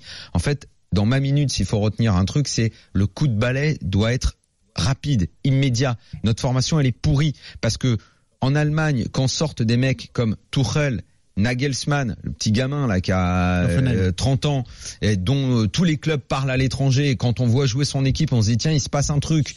Euh, partout dans le monde, on voit des jeunes entraîneurs qui débarquent comme ça, qui ont des idées, une nouvelle mentalité, une façon de s'exprimer, une façon de venir devant les journalistes pour expliquer quel est leur travail, et que nous, quand Antoine Comboiré dit on en a, mais où, qui, comment? C'est qui nos entraîneurs français? Qui est le mec que tu peux mettre en avant en disant tiens mais t'as vu le style que le mec essaye de développer? Tu l'as entendu son discours? Non. Là où en revanche je reçois Comboiré c'est ils n'ont pas de réseau. On me dit, bah ok, bah bossez avec les réseaux, essayez de les construire vos réseaux. Apprenez à parler, apprenez à parler plusieurs langues, allez faire des stages à l'étranger, intéressez-vous au métier, proposez de nouvelles idées. Mais la façon dont ils ont for- dont ils sont formés, c'est tous la même idée, on travaille tous de la même façon. Si tu arrives avec de nouvelles idées, de toute façon tu prends zéro à l'examen. Et puis tu ne peux pas sortir un Nagelsmann ou un Tourelle parce que chez nous il faut forcément avoir été joueur avant. Sinon on te donne même pas l'opportunité d'être dans le diplôme. En compte ça coûte une blinde. Tout est à revoir dans le système de formation. Tout. Et puis quand t'es tenu, excuse-moi, et par Guy Lacombe. C'est long, Donc, hein. C'est encore Raymond Domenech qui te représente. Et, Ok. ah, Christophe, Non, mais il est obligé de on nous est, rejoindre. on est bien dans Team. Duga, Coup de 19h25. balai. Vous n'êtes C'est- c'est pas encore balai, dans l'after. c'est Euh, tout ce que Vous tu êtes dans Team C'est Duga. le Dyson Duga. puissance 1000, la, la cartouche, mais à la poubelle. Duga. Alors écoute, je n'ai euh, je n'ai ni une virgule à rajouter, ni une virgule à enlever à tout ce qu'a dit Daniel. Je partage D'accord. La totalité de ce qu'il a pu dire. Au moins, tu vois, je me suis reposé pendant une minute, c'était magnifique. Je m'en vais, je m'en vais, je. Excusez-moi, j'ai trop parfait. parlé, pardon. C'était Donc, parfait. donc tu penses que les entraîneurs français sont nuls, en gros, Duga Je pense pas que les entraîneurs français sont Mal nuls. Je pense que formés, la- alors. Exactement. Je pense que la, la formation doit, doit être revue totalement. Bon, et Sabrina, les entraîneurs euh, de foot féminin, ils sont nuls Il y a Non, beaucoup d'anciens joueurs comme Pedros qui est à Lyon et Chouafni qui est à- au PSG. Oui, on a Bernard Mendy aussi dans le stade de, de l'équipe féminine et je pense que c'est bien aussi que finalement euh, d'anciens joueurs professionnels ou pas d'ailleurs, mais issus finalement du, du football masculin, euh, bah, viennent euh, apporter leur Ouais. expertise du haut niveau et du, du professionnalisme dans, dans le football féminin. Parce que faut quand même rappeler qu'il y a, il y a des clubs qui sont professionnels en, en Ligue 1 féminine, mais c'est pas le cas de, de tous les clubs et il faut aussi que les clubs de- du championnat de France de, de D1 se professionnalisent pour euh, en rendre le niveau plus homogène et plus attractif. Bon bah merci beaucoup Sabrina d'être passée dans Team Duga. Et Merci. merci, tu reviens quand tu veux, t'es chez toi, Sabrina. Daniel C'est aussi. gentil, bah, Daniel, euh, bon bah il est chez lui hein, de toute Oui, façon. Daniel, il, fra- il- il frappe même pas la porte. Daniel, il rentre euh, et euh, Vous pouvez aller entendre encore plus de Daniel Riolo dans l'after ce soir. Salut Daniel. Salut Je vous amis, rappelle aussi beaucoup. que vous pouvez soutenir l'équipe de France féminine puisqu'RMC vous offre vos places pour le match amical France-Uruguay. Ça joue à Tours lundi à 21h. Pour gagner vos places, vous allez sur le compte Twitter de Team Duga. C'est simple. PMU.fr, numéro 1 du pari en termes d'enjeu en 2017, voire conditions sur PMU.fr. Jouer comporte des risques, appelez le 09 74 75 13 13, appel non surtaxé. On revient tout de suite dans Team Duga avec euh, la suite de Rennes-Orléans en Coupe de France, le carré VIP de Team Duga avec Fred Hermel pour Real Barça ce soir. RMC, 18h20h. Team Duga. Vous avez rendez-vous tous les jours avec les grandes gueules dès 9h sur RMC. Quelqu'un qui touche les minimums sociaux et qui passe son mois à faire du black, ben oui, il déconne. RMC, tous les jours 9h midi, les grandes gueules. Qui peut concurrencer MAF Pro Avec MAF Pro, un conseiller qui se déplace, qui m'est dédié. Des solutions, moi qui suis pro, je préfère MAF Pro. Avec MAF Pro, des conseillers se déplacent, vous conseillent et vous proposent des solutions dédiées. Et c'est pour vous, les pros. Moi qui suis pro, je préfère MAF Pro. Plus d'informations sur MAF.fr et dans les agences MAF. Lidl, meilleure chaîne de magasins de l'année. Ah le patron Qu'est-ce qui nous mijote encore Lidl Eh ben en ce moment, ils font le bourguignon de bœuf à mijoter à 5,39€ les 650 grammes. Et de la viande bovine française 3 étoiles, hein 5,39€ le bourguignon de bœuf. Oh la vache C'est tentant. Et comment Euh, J'en prends avec des carottes Ah, oublie, hein, pour nous, elles sont cuites. Bah vachement cuite, oui. Lidl, le vrai prix des bonnes choses. 8,29€ le kilo, origine France. Offre valable jusqu'à épuisement des stocks. Retrouvez-nous au Salon international de l'agriculture jusqu'au 3 mars. Plus d'informations sur Lidl.fr. Bah, qu'est-ce que tu fais? Un compte bancaire Ouais. Avec Orange Bank, c'est sans condition de revenu et sans frais de tenue de compte. Et, ça juste avec ton téléphone Bah ouais. Maintenant, ouvrir un compte, c'est plus simple que de... Bonsoir messieurs. Les baskets, ça va pas être possible. Bonne soirée. Bah, que de rentrer en boîte, par exemple. Hmm. Ouais, c'est pas faux, ouais. Orange Bank, la banque maintenant. Zéro frais de tenue de compte si utilisation des moyens de paiement. Ouverture de compte sous réserve d'accord de la banque. Voir conditions sur orangebank.fr. Anne Rosincher, directrice déléguée de la rédaction de l'Express. Cette semaine, l'Express enquête sur une colère qui gronde. Nous, les petits blancs, disent-ils. Qui sont ces Français qui crient à l'abandon? L'Express, en vente chez votre marchand de journaux. J'ai acheté ça quand on a ouvert. Au début, j'ai trouvé ça super marrant. Une petite grenouille qui fait un bruit à chaque fois qu'un client rentre dans le magasin. Le truc, c'est que maintenant que je suis référencé sur Internet avec ce local, bah... Site internet, référencement, publicité en ligne, boostez votre visibilité sur internet à partir de 29 euros par mois. Solocal, vous allez avoir de la visite. Solocal.com 3938, service gratuit plus prix d'appel. La bonne idée but pour un Beautiful Winter, c'est le jeu 100% gagnant. Quoi? Une voiture? Des séjours au ski Attendez-moi, je descends. Hey Pour le Beautiful Winter, tentez votre chance au jeu 100% gagnant. Une Ford Ka, des séjours au ski et des milliers de cadeaux surprises à gagner en magasin. Règlement en magasin sur but.fr. Beautiful Winter, le merveilleux hiver de but. Bouygues Télécom. Félix de Fécamp est fan de foot. Hélas, Félix n'est pas souvent chez lui. C'est pourquoi il aimerait pouvoir regarder foultitude de matchs sur son smartphone, comme celui de ce soir. Ce serait fabuleux. Mais comment faire pour que cela ne lui coûte pas une fortune? Eh bien, Félix, écoutez l'offre fantastique qui va suivre. Est faite pour vous. En ce moment, chez Bouygues Télécom, Bein Sport sur mobile est offert pendant 12 mois avec les forfaits Sensation 50 Go et plus. Rendez-vous vite en boutique Bouygues Télécom. Offre soumise à condition pour toute nouvelle souscription avec engagement 12 ou 24 mois. Conforama, le confort pour tous. À tous ceux qui sont rincés d'aller à la laverie, nous, on offre 50 euros d'économie sur le lave-linge Samsung 8 kg 1400 tours minutes, soit 349 euros. 50 euros de remise C'est propre. Conforama. Jusqu'au 11 mars, conditions en magasin et sur conforama.fr. Bonjour, c'est Ramsès, le chat blanc de Feu Vert. J'ai deux mots à vous dire, deux mots à vous dire. En ce moment chez Feu Vert, on fait coup double, coup double. Un pneu acheté égale un pneu offert. Un pneu acheté égale un pneu offert. Oui, oui, alors faites vite, faites vite. Ça ne se répétera pas de sitôt, pas de sitôt. On la refait Non, c'est bon. Ok, ok. Offre valable sur les pneus Revélo soumis à la pause, voir conditions sur feuvert.fr. RMC, Team Dugas, François Pinet, Christophe Dugarry. Allez, c'est reparti les amis, il est 19h31, c'est l'heure de continuer notre pas parler football. Nous sommes bien évidemment dans Team Dugas, François Pinet, Benoît Boutron Oui. sont toujours là. On est là. Euh, Qu'est-ce qu'il nous reste dans cette demi-heure? Mon François, On a plein de choses. On a dans un instant des infos à vous donner sur le futur coach des Girondins de Bordeaux.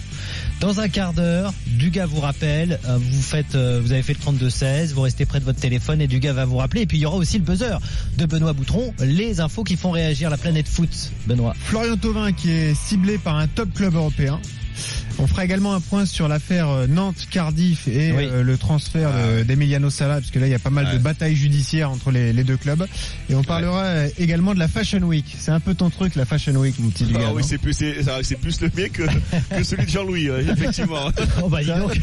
Ouais, mais ouais, il y a pas beaucoup de survêtements pourtant à la Fashion Week. Ouais, écoute, Ah mais non, c'est ton style, remarque. C'est mais c'est détrompe-toi, détrompe-toi. Ouais. une nouvelle mode.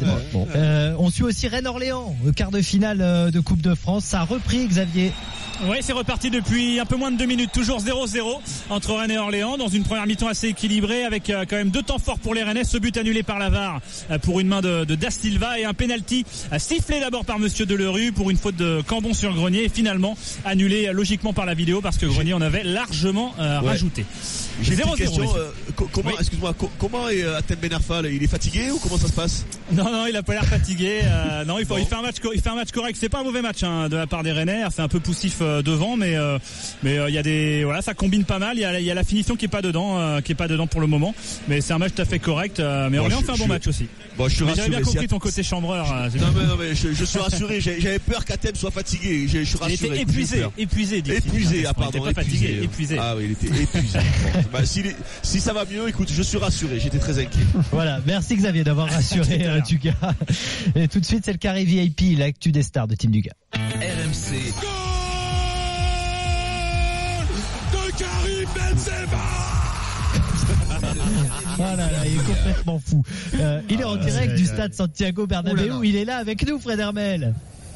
Mais j'étais jeune à l'époque, j'étais fou, j'étais fringant. Bah, t'es voilà. toujours fou, hein. Hola chicos. Salut Fredo. C'était à l'époque où tu dormais avec Jean-Louis à Madrid, non?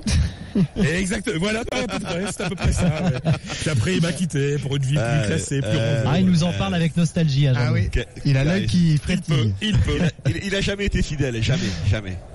Real À toi, Barça. Real, Real Barça, c'est donc ce soir Coupe du Roi, demi-finale, retour. Il y avait eu un but partout euh, au match aller. C'est trois jours avant un autre Real Barça. Donc tu vas bosser euh, pas mal, Fred. Ça va Mais te de changer. chez lui, ça va. euh, en championnat samedi. Euh, Est-ce que euh, celui de ce soir est le plus important des deux? En Coupe du Roi là Oui, parce qu'on a quand même le sentiment que la Liga est, est plus ou moins réglée pour pour le Real. Voilà, c'est-à-dire que ça sera très compliqué pour les Madridistes de, de remporter. Le Barça a besoin de, de ramener un bon résultat de Bernabeu parce qu'il y a quand même un poursuivant hein, en deuxième position qui est l'Atlético de Madrid. Mais, mais c'est vrai que pour sauver une saison qui est quand même un petit peu compliquée avec beaucoup de bas et quelques petits hauts euh, côté Real Madrid, voilà, la, la Coupe du Roi serait un, un lot de consolation euh, qui ne suffirait pas, mais ce serait quand même un, un petit trophée. Il faut pas oublier que le Real Madrid ne gagne pas cette coupe depuis 2014, justement face au face au Barça avec euh, en- Ah oui, le but de sur, Bale sur le banc. aussi. Ouais, c'est ça. Et- Exactement, exactement. C'est le fameux but de Gareth Bale pour le 2-1.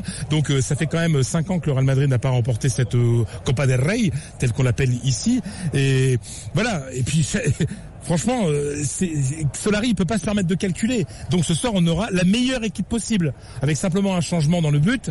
Euh, C'est-à-dire que comme Courtois est devenu numéro 1, il a la Ligue des Champions, il a la Liga, on laisse un, quand même un joueur qui a gagné trois, un portier qui a gagné trois Ligue des Champions euh, coup sur coup, euh, comme Navas, on lui laisse euh, au moins la Copa del Rey euh, comme, comme petite consolation. Ouais. T'avais bien aimé toi le, le match aller, même si c'était pas le plus grand classico de l'histoire, il y en a eu d'autres, mais du gars t'avais bien aimé quand même. Euh, C'est un, un rendez-vous que tu ne rates jamais. Ah oui, oui, c'était c'était un match de qualité, oui. Après, c'est un match particulier. euh, pff, sincèrement, qu'est-ce qui se fait de mieux aujourd'hui euh, dans le monde en, en- en opposition de club euh, je, je, je voilà, c'est ça reste Ouais. exceptionnel. Alors Ronaldo nous manque un petit peu, bien évidemment, puisqu'il euh, il est plus du côté du Real et il manque dans cette opposition. Euh, mais euh, pff, après le Real, il ces matchs-là, même s'ils étaient décrochés à 25 points euh, du, du Barça, ils sont ils sont à 9, c'est déjà beaucoup. À 25 points, ils joueraient ce match comme si c'était le dernier parce que c'est c'est une fierté euh, c'est une fierté nationale de, de gagner ce match c'est une suprématie c'est quelque chose de, de, de différent après il n'y a pas de choix la coupe du roi le championnat le ci là peu importe ces matchs là il faut les gagner quoi qu'il se passe Et la tendance est plutôt, euh, en tout cas, en faveur de Barcelone. La dynamique est barcelonaise. Parce que le Real euh, s'en est sorti, Fred, difficilement avec un penalty imaginaire lors du dernier match. Contre les Levante, ouais. Oui, enfin, pénalty imaginaire, euh, Ah bah. c'est pas ce qu'a dit le- l'entraîneur, le, le, gar- le, le VAR et, et Oui, le- oui. et l'arbitre. Donc euh, non. Ah d'accord. mais Au-delà C'est pas du résultat, imaginaire le penalty. Non, non, mais au-delà Ah bon du résultat, le Real Ah, a très mal joué. A très mal joué, donc euh, voilà. Après, euh, penalty Fredo j'ai une penalty, question j'ai une question ouais Excuse-moi Fredo, j'ai une question à te poser. Euh, le Real Madrid, il préfère que ce soit le Barça ou l'Atlético Madrid qui soit champion? Bah, ça dépend l'âge du supporter. voilà, parce qu'en fait, les plus anciens, à commencer par euh, Florentino Pérez, euh, voilà, eux, c'est les gens de Madrid, les vrais rivaux, ce sont les, euh, ce- c'est l'Atlético, parce que quand ils étaient petits, euh, du temps de Di Stefano, etc., bah, quand ils perdaient un, un match face à l'Atlético, bah, leurs petits copains dans la cour d'école se moquaient d'eux. Donc euh, la rivalité contre le Barça est quand même plus moderne. Hein. Faut Ouais. pas, elle est, elle est plus moderne, plus mondiale. D'accord. Donc s'il fallait un, un choix. Voilà, Ah, c'est vrai que les, générations d'aujourd'hui ne, veulent pas voir le Barça remporter euh, la Liga. Mais après, dans la tête d'un Madrilène, le plus important, et ça c'est quel que soit l'âge, c'est la Ligue des Champions.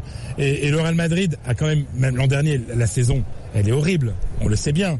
Le, Real est à je sais plus combien termine la saison avec 15 points de retard je crois sur le Barça. Enfin mais c'est ils perdent la Liga en décembre. Donc euh, c'est catastrophique. Ils sont éliminés euh, par Leganés, un petit club de banlieue euh, en, en Coupe du Roi, mais ils gagnent la Ligue des Champions. Et ça ça occulte tous les problèmes. Donc euh, il y a derri- dans le dans, dans l'ADN du Real Madrid ce rapport à l'Europe qui, qui qui permet de compenser tout- tout- tous les petits désagréments qu'il peut y avoir en en, en, en championnat. Après le Real Madrid pour revenir à ce que, ce que disait François, ils s'en s'en sortent très très bien du dernier match euh, sur la pelouse de Levante en jouant mal. Oui, Ouais. et mais mais le résultat du match aller il y a trois semaines, le 1 partout était vraiment bien. C'était un, un match Ouais, où le Real bien, Madrid a été a été même dominateur en première Ouais, période. il y avait une mi-temps sont- chacun. Ouais, ouais. Ouais, ils sont repartis. Euh, les, les joueurs du Real sont repartis de Barcelone avec le sentiment de les avoir laissés vivants. Je traduis de l'espagnol. Voilà. Hein, on les a laissés vivants alors qu'on aurait pu. euh, voilà. Après 1-1, c'est un bon résultat, mais quand on voit l'état de forme de Messi. Euh, Je crois qu'un bon résultat, c'est de partir avec 5-0 à l'e- à l'extérieur, quoi. Ouais, ouais. Euh, dans ta dans ta poche. Parce que voilà. Mais bon, ça va être un match absolument merveilleux et je suis très content parce que j'y suis. Fred, il y aura combien de Français au coup d'envoi, Fred, à ton avis? Euh, côté Real, c'est évident, euh, le défenseur central Raphaël Varane est le meilleur joueur et meilleur buteur de cette équipe. Je sais pas si vous connaissez Karim Benzema. Non. Et euh, Non, non, non. j'en parle très peu. Non, ouais. Et, et, et, et du côté du Barça, euh, on aura, euh, je pense, L'anglais ou Dembélé. Ah bah c'est la question, voilà. Ça je pourrais te dire ça dans à peu près 20 minutes. Qu'est-ce qu'il est pertinent, ce Benoît. les- ben oui, ben oui, non mais c'est vrai parce que alors euh, l'anglais, l'anglais n'est au départ qu'un remplaçant, quelqu'un un- qui est venu pour l'avenir. Voilà, c'est un pari d'avenir du côté du euh, du Barça. Euh, mais cette longue blessure au genou de, de Umtiti bon, lui a permis de faire une charnière centrale avec Piqué, qui a très très bien fonctionné. Donc Bah. euh, l'anglais aujourd'hui est devenu un concurrent réel voilà. pour Samuel Umtiti. On suivra ça, on suivra la compo euh, sur RMC bien sûr. C'est le centième match aussi sur le banc d'Ernesto euh, Valverde, le- l'entraîneur de- du Barça. Merci beaucoup Fred. À très bientôt. Chicos. À très Salut, bientôt. Salut. Euh, Focus Ligue 1 tout de suite. Dans Team Liga. Mesdames et messieurs, bonjour. Des orages et des températures qui ont dégringolé dans le sud-ouest notamment. Le Focus Liga. Alors hier on apprenait euh, un petit peu à la surprise générale euh, le licenciement de Ricardo, démis de ses fonctions de manager à Bordeaux. On va retourner à Bordeaux retrouver Nicolas Paolorsi. Salut Nicolas. Salut les gars, salut à tous. Salut Nicolas. Parce qu'on veut savoir maintenant euh, quel sera le nom ou en tout cas le profil du futur coach des Girondins de Bordeaux. Ouais, parce que le nom on l'a pas. On l'a pas et, et franchement c'est compliqué de l'avoir. Ce nom, ce qu'on peut vous dire, euh, c'est que euh, GACP cherche une pointure. Ça, c'est les informations qu'on a eues. Un coach référencé, un coach expérimenté. Il sera à 99% étranger, donc on peut d'ores et déjà éliminer les pistes euh, Claude Puel. On a beaucoup vu Laurent Blanc sur les réseaux sociaux. On a vu le nom de Thierry Henry ressortir. Donc ça déjà, on peut les éliminer. On a entendu également parler d'un retour de Gustavo Poyet. Et c'est vrai que Gustavo Poyet euh, était pas insensible. Si jamais les, les Girondins s'étaient euh, penchés sur euh, sur son C'est cas. incroyable quand même. Joe Da- ouais ouais ouais, ouais. c'est vrai que c'est c'est c'était Les surprenant. mecs, ils ont peur de rien. Euh, mais Joe Dagrosa a, a tout de suite a tout de suite démenti. Il cherche un, co- un coach expérimenté, mais surtout un coach avec de la poigne, avec de la fermeté. Ça, c'est ce qu'on nous a dit, parce que c'est vrai que Ricardo et ça, ça tranche un petit peu avec la méthode Ricardo. Euh, les échos qu'on a eu euh, de Ricardo avec les joueurs, c'est qu'il était finalement trop gentil. Alors ça s'est très bien passé au début, lors du justement du départ euh, chaotique de, de Gustavo Poyet, où euh, cette gentillesse, cette tranquillité a permis de, de remettre le groupe dans le dans le droit chemin. Mais quand ça a commencé à être compliqué, il a pas réussi à hausser le ton. Euh, Ricardo et donc à, à booster son équipe derrière. On a entendu également parler de Paulo Souza, euh, Bah oui. le coach, ouais, le coach portugais, ancien technicien de la de la Fiorentina. Nous, on se l'est pas fait confirmer à RMC Sport euh, par la direction des, des Girondins et, et par GACP. Euh, et puis en plus, quand on regarde le CV de Paulo Souza, euh, ça colle pas trop au profil. Hein. Il a 48 ans, euh, des expériences euh, très très courtes. Ok, il a entraîné deux saisons à la Fio où ça a été positif, mais sinon il est resté un an à Vidéoton, il a entraîné à Bâle, il a entraîné euh, trois mois à Leicester, Ah ouais. euh, au Maccabi Tel Aviv. Hum, il est allé en Chine, dernière expérience en Chine. Donc voilà, c'est un, petit peu d'ailleurs un parcours à la Gustavo Poyet hein, qui, a, Ouais. qui a beaucoup bourlingué. Donc euh, pour l'instant, ce qu'on peut vous dire, un entraîneur expérimenté, 99% étranger, voilà, et une pointure surtout. C'est ce que cherche euh, GACP. Ça devrait pas tomber avant ce week-end. On n'est pas pressé du côté de la direction bordelaise. Merci beaucoup Nicolas et à bientôt pour d'autres infos Salut, sur messieurs. euh, sur Bordeaux. C'est quand même étonnant parce que le profil, même s'il est pas étranger, c'est Claude Puel, hein, homme à poigne, qui peut gérer les jeunes. On en parlait hier du gars, mais bon, Ouais, ça paraissait il faut- être un il faut bon profil. malléa- C'est bizarre de l'écarter comme Il ça. faut tout qu'il soit malléable, malléable, Ouais, malléable aussi quand voilà, parce que c'est Ouais, pas lui qui fait le recrutement. Euh, voilà, donc Hmm. euh, ouais, euh, écoute, euh, qui, qui trouve déjà, on verra bien. Bon, peut-être que tu peux leur passer un coup de fil. Non, non, merci. J'ai des affaires là déjà. Bah, tu vas parier. gars m'occuper déjà Eh deux bah oui. heures par jour déjà. Je suis débordé, ça suffit. Ah ben tu vas parier tout de suite. Allez, c'est parti. Paris sportif, Paris poker. Et on accueille Arthur Perrault de la rédaction des Paris RMC. Salut Arthur. Salut François, salut Dugas, bonsoir à tous. On va pas parler sur le Salut nom du Arthur. futur Salut entraîneur de Arthur. Bordeaux. hein, Non. c'est compliqué. hein. Non, mais c'est drôle. Très compliqué. C'est drôle, mais ça difficile. Pourrait être drôle. Ça pourrait Ouais. être drôle. Proposer en Angleterre, on pourrait ils aiment ça proposer coach Courbis. Ils aiment ça. Ouais. qui joue ce soir. Pourquoi pas Non, on va parler du match de ce soir justement. Oui. Genesio contre Courbis, Lyon contre Caen. Et là, il n'y a pas photo au niveau des cotes. Sur cette autre quart de finale, messieurs. 1,28 seulement la victoire de Lyon. 5,40 le nul. 9,50 la victoire Ah ouais. de Caen. Alors j'ai cherché un peu dans les archives pour retrouver la dernière victoire du club normand à Lyon. Il faut remonter au 11 février 2012. C'était un succès de 2-1 avec des buts de Romain Mouma et Livio Nabab. Ah oui, oui. Livio Nabab. Qui joue, qui maintenant à. Bourg-en-Bresse. Hein. À Bourg-en-Bresse. D'ailleurs, Livio Nabab. Du coup, victoire de Lyon, euh, forcément, du gars par au moins deux buts d'écart 1,70 ou sans encaisser le but 1,90. C'est très compliqué de faire grimper la cote hein, quand même sur ce, sur ce match. Mais non, mais je, je vais faire une Jean-Louis Tour. Euh, Quand le- le- le- l'adversaire est compliqué, mais je joue Lyon les yeux fermés. Et quand l'adversaire est faible, eh bien, je joue une non-victoire des Lyonnais. Euh, Mais il a raison, du gars. Ouais, pas en Et coupe, puis- pas non, comme mais- ça, du gars. Non mais en plus c'est la cote. Mais quoi C'est la cote Elle a combien la cote Lyon qui gagne pas? Euh, donc, euh, quand Petit piège, quand on petit ne perd piège. pas, quand on ne perd pas, Non. ah bah si, Oui. 3,20. C'est déjà, c'est déjà intéressant. Ça te laisse la possibilité du nul Ah, si, c'est ça, et de la victoire. bah, on c'est ça. Quand on perd. Ben voilà. 3,20. Ben voilà. Eh ben voilà, je joue ça moi. Et ben voilà. Voilà. Victoire de Caen, euh, ça se tente, hein Non. Bah c'est oui. pas leur priorité, les gars. Avec coach Courbis. tenir. euh, Coach Courbis, il va envoyer l'équipe B. Et voilà. Le druide Ouais. va, va Change le gardien de but Bon. déjà. Ok, c'est noté. Merci Arthur. Tous les paris de la Dream Team à retrouver sur rmcsport.fr. Ah c'est vrai que l'entraîneur c'est Roland. je numéro 1 du pari en termes d'enjeu en 2017, voire conditions sur PMU.fr. Jouer comporte des risques, appelez le 09 74 75 13 13, appel non surtaxé. Ouais, tu disais, ça a été coupé par Ah, le jingle. T'avais oublié. Non, non, j'ai- eh oui, j'avais oublié que le coach c'est Eh Roland. oui. S'occupe pas du match de ce soir. Et voilà. Il s'occupe des trois, du, du troisième match de la quatrième semaine du mois de mai. Ah d'accord. Oui, mais il a fait là, croire au remplaçant qu'il était meilleur que le titulaire. Et c'est ça la force Ah, de c'est Roland ça, c'est- Si l'effet Courbis ça. fonctionne. Ça sera à suivre ce soir sur RMC. Et nous, on continue jusqu'à 20h. Team Dugas continue avec Dugas vous rappelle au 32-16. Vous le faites et il vous rappelle. Et puis le buzzer de Benoît Boutron. À tout de suite. RMC, 18h20h. Team Dugas. 32-16 touche 1. Réagissez en direct sur RMC. Alors où on en est de la question du jour Eh posée oui, la par question Benoît sur les qu'adore réseaux Christophe sociaux Dugarry. La Coupe de France doit-elle être l'objectif prioritaire des Lyonnais Dugas, tu t'es toujours pas positionné hein, d'ailleurs. Bah non, ça m'intéresse pas. D'accord. Alors donne la On rappelle que Dugas a dit il faut prendre Oui. tous les matchs euh, pareils, voilà. C'est quoi la tendance, alors prioritaire. La tendance c'est toujours oui à 66%. Et on nous dit euh, ce qui remonte la, la plupart du temps au niveau des commentaires, c'est en fait oui parce que c'est l'objectif le plus abordable pour les Lyonnais.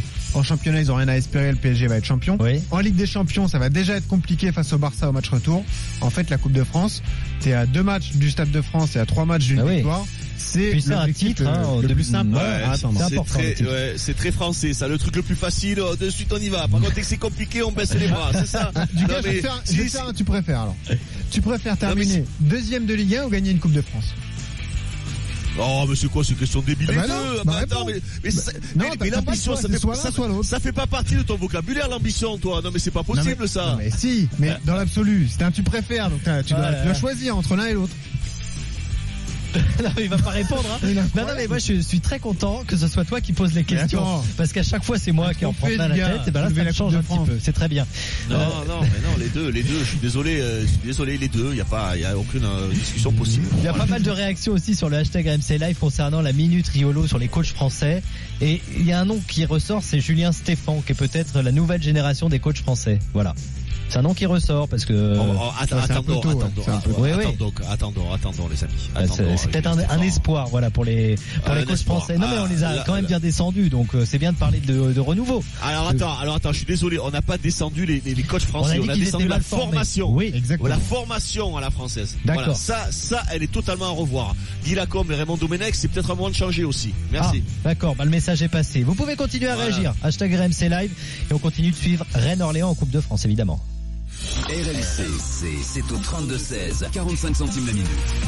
Les rendez-vous du Made in France avec Lidl. Aujourd'hui dans le Nord, Benjamin Denequin nous accueille dans sa ferme porcine. les filles, à manger, allez. Ici, nous sommes dans une ferme familiale. Nous sommes avec mon frère la quatrième génération sur l'exploitation. Ici, on fait du circuit court puisque nos porcs sont nés et élevés dans le nord et ils sont commercialisés dans les Lidl de la région. J'ai un coût de production qui avoisine les 1,30€, ce qui est souvent au-dessus du prix du marché. Et aujourd'hui, depuis que mon groupement a signé un contrat tripartite avec Lidl, sur chaque kilo de viande que Lidl m'achète, j'ai une plus-value de 40 centimes. Aujourd'hui, je suis à l'équilibre et je suis mieux rémunéré. Ça change la vie, ça redonne envie de se lever le matin. Biérot, gérant des achats Lidl France, nous présente leur contrat tripartite. En 2015, le monde agricole était en forte crise. On a souhaité comprendre pourquoi et on s'est rapproché des éleveurs. De là sont nés des contrats tripartites qui aujourd'hui leur assurent une rémunération plus juste. On en a aujourd'hui une bonne dizaine de signés et j'espère que dans les mois et les années à venir, nous en signerons encore plein d'autres. Les rendez-vous du Made in France avec Lidl. Lundi à 20h50 sur RMC Découverte. Sidecar KS ou Peugeot 504. Avec François Alain, les belles voitures sont des instruments et la mécanique devient la plus belle des musiques. Vintage Mécanique, c'est lundi dès 20h50 sur RMC Découverte. Plus fort que la fiction. Canal 24. Conforama, le confort pour tous. À ceux qui veulent gagner de la place et de l'argent, Le canapé d'angle convertible Sareva avec coffre de rangement est à moins 50%, soit à 399 euros. pas besoin d'y réfléchir à deux fois. Conforama, jusqu'au 11 mars, conditions en magasin et sur conforama.fr. Le nouveau Quintet Plus du PMU continue à faire des heureux. Un parieur vient de gagner plus de 500 000 euros. Oui, plus de 500 000 euros. Et depuis son lancement mi-janvier, il y a eu plus de 7 millions de paris gagnants au nouveau Quintet Plus du PMU. Alors maintenant, à vous de jouer. Conditions et informations sur PMU.fr. Jouer comporte des risques. Appelez le 09 74 75 13 13. Appel non surtaxé. RMC, Team Dugas, François Pinet, Christophe Dugarry. Allez, 19h50, nous sommes encore dans Team Dugas pour euh, une petite, toute petite dizaine de minutes. Mais surtout, libre. surtout, il nous reste le buzzer boutron. C'est ça, c'est ça, le buzzer C'est difficile à dire. Un buzzer boutron, c'est un peu... C'est quoi Ouais. Non, c'est un peu dur à dire, je trouve. Enfin, pour moi. Oui, pour toi, oui. Buzzer boutron. Buzzer boutron. On C'est sûr parce que c'est la fin de l'émission. je peux- Dugas vous rappelle aussi, euh, dans un instant et puis un petit détour par Rennes-Orléans avec Xavier Grimaud, Coupe de France, quart de finale. Où on en est Co- Xavier Comment, Oui, comment joue Ben Arfa Comment est Ben Arfa Oui. Il va peut-être tirer un coup franc, il va peut-être tirer un coup franc à Tem Ben Arfa dans un instant. 0-0 à 65 minutes de jeu. Euh, Rennes qui euh, quand même assoit sa domination hein, dans la deuxième période, mais n'arrive pas à trouver la, la faille. Il y a une énorme euh, occasion, une énorme, faut pas exagérer, mais une grosse occasion avec un excellent centre de Sarr au deuxième poteau. Niang euh, qui euh, a mis euh, cette frappe à côté. Il y a le coup franc qui va être tiré dans la seconde. Bah, Je vous le fais vivre avec Bourigeau, ça passe au-dessus du mur. Ah c'est dedans Eh ben, L'ouverture du score de Benjamin Bourigeau. C'est tiré au ras du poteau. Un côté fermé, ça passe juste au-dessus du mur, c'est très bien tiré. Et euh, le gardien qui s'en veut un petit peu parce qu'effectivement, il est sur la trajectoire et le ballon qui lui ripe euh, sur le bras. L'ouverture du score pour le Stade Rennais, c'est assez logique. La Ah, il nous a 65e fait- 1-0. Benoît, le spécialiste d'Orléans, le gardien. Une là. Jean-Louis Tour, une Jean-Louis Tour, il nous a fait. T'as vu, il était sûr de l'avoir. Ne critiquez pas la légende du club Thomas Renaud. Ah oui, mais là, il est un peu coupable quand même. Même hein. c'est la légende du club. Première licence à 6 ans, il a fait toute sa carrière à Orléans. Ah, bon, bah, il a le droit alors. Il a le droit d'avoir le les mains droit. pas- il a l'air d'avoir les mains, les mains tordues, c'est pas grave. Allez. Non, mais tu vois. Ouais, il a qu'à, il a, il a qu'à caguer au milieu du terrain et puis il a le droit à la Oh, légende non, aussi. bon. Non, mais Si ça va au tir au but, il va sauver Orléans. Oui, bah, c'est pas possible de dire des choses comme ça. c'est pas possible. 1-0 pour Rennes face à Orléans. Le buzzer de Benoît. Vas-y. Eh oui, je vous avais dit que Tovin était ciblé par un gros club. Et euh, est-ce que tu buzz déjà du gars Est-ce que ça Oui, t'intéresse de oui, savoir, j'ai- oui, bien sûr. J'ai vu cette information, mais elle va intéresser nos auditeurs. Un ouais. club qui adore les joueurs français actuellement, c'est le Bayern Munich qui a recruté Benjamin Pavard pour euh, l'été prochain, qui euh, aimerait beaucoup recruter également Lucas Hernandez et qui s'intéresse donc à Florian Thauvin. On rappelle que Ribéry et Robben vont quitter le club en fin de saison, c'est un petit peu le même profil Florian Mm. Thauvin sur le côté droit. Bonne ou mauvaise idée pour Thauvin et pour le Bayern à ton avis euh, du gars Ah, pour Tovin, c'est une excellente idée. Euh, voilà, euh, Tovin a, a- a mérité euh, le droit de, de a mérité de de- de- de- de- d'aller dans un grand club, un club UP. Après, euh, voilà, est-ce que c'est la question qu'on se pose tous Est-ce que est-ce que Tovin a le niveau Ouais. Ligue des Champions, le niveau international? Ça sera à lui de le démontrer, de faire ses preuves. Je, je trouve que c'est assez risqué pour pour le Bayern, mais ça dépend à quel prix. Euh, vu aujourd'hui le marché, euh, Bah, ça dépend à quel prix tu vas payer Thauvin, Tovin. c'est quoi? C'est 50 millions Au moins Non Je, Ah bah les prix je du marché pas. en ce du moment, marché. oui, a priori oui. Bon, euh, ça pourrait être euh, Pour un lui, super droit euh. Pavard-Tovin hein, au Ouais, Bayern. pourquoi pas. 100% français. Voilà. Ouais. Et Kingsley Ouais. Coman de l'autre côté.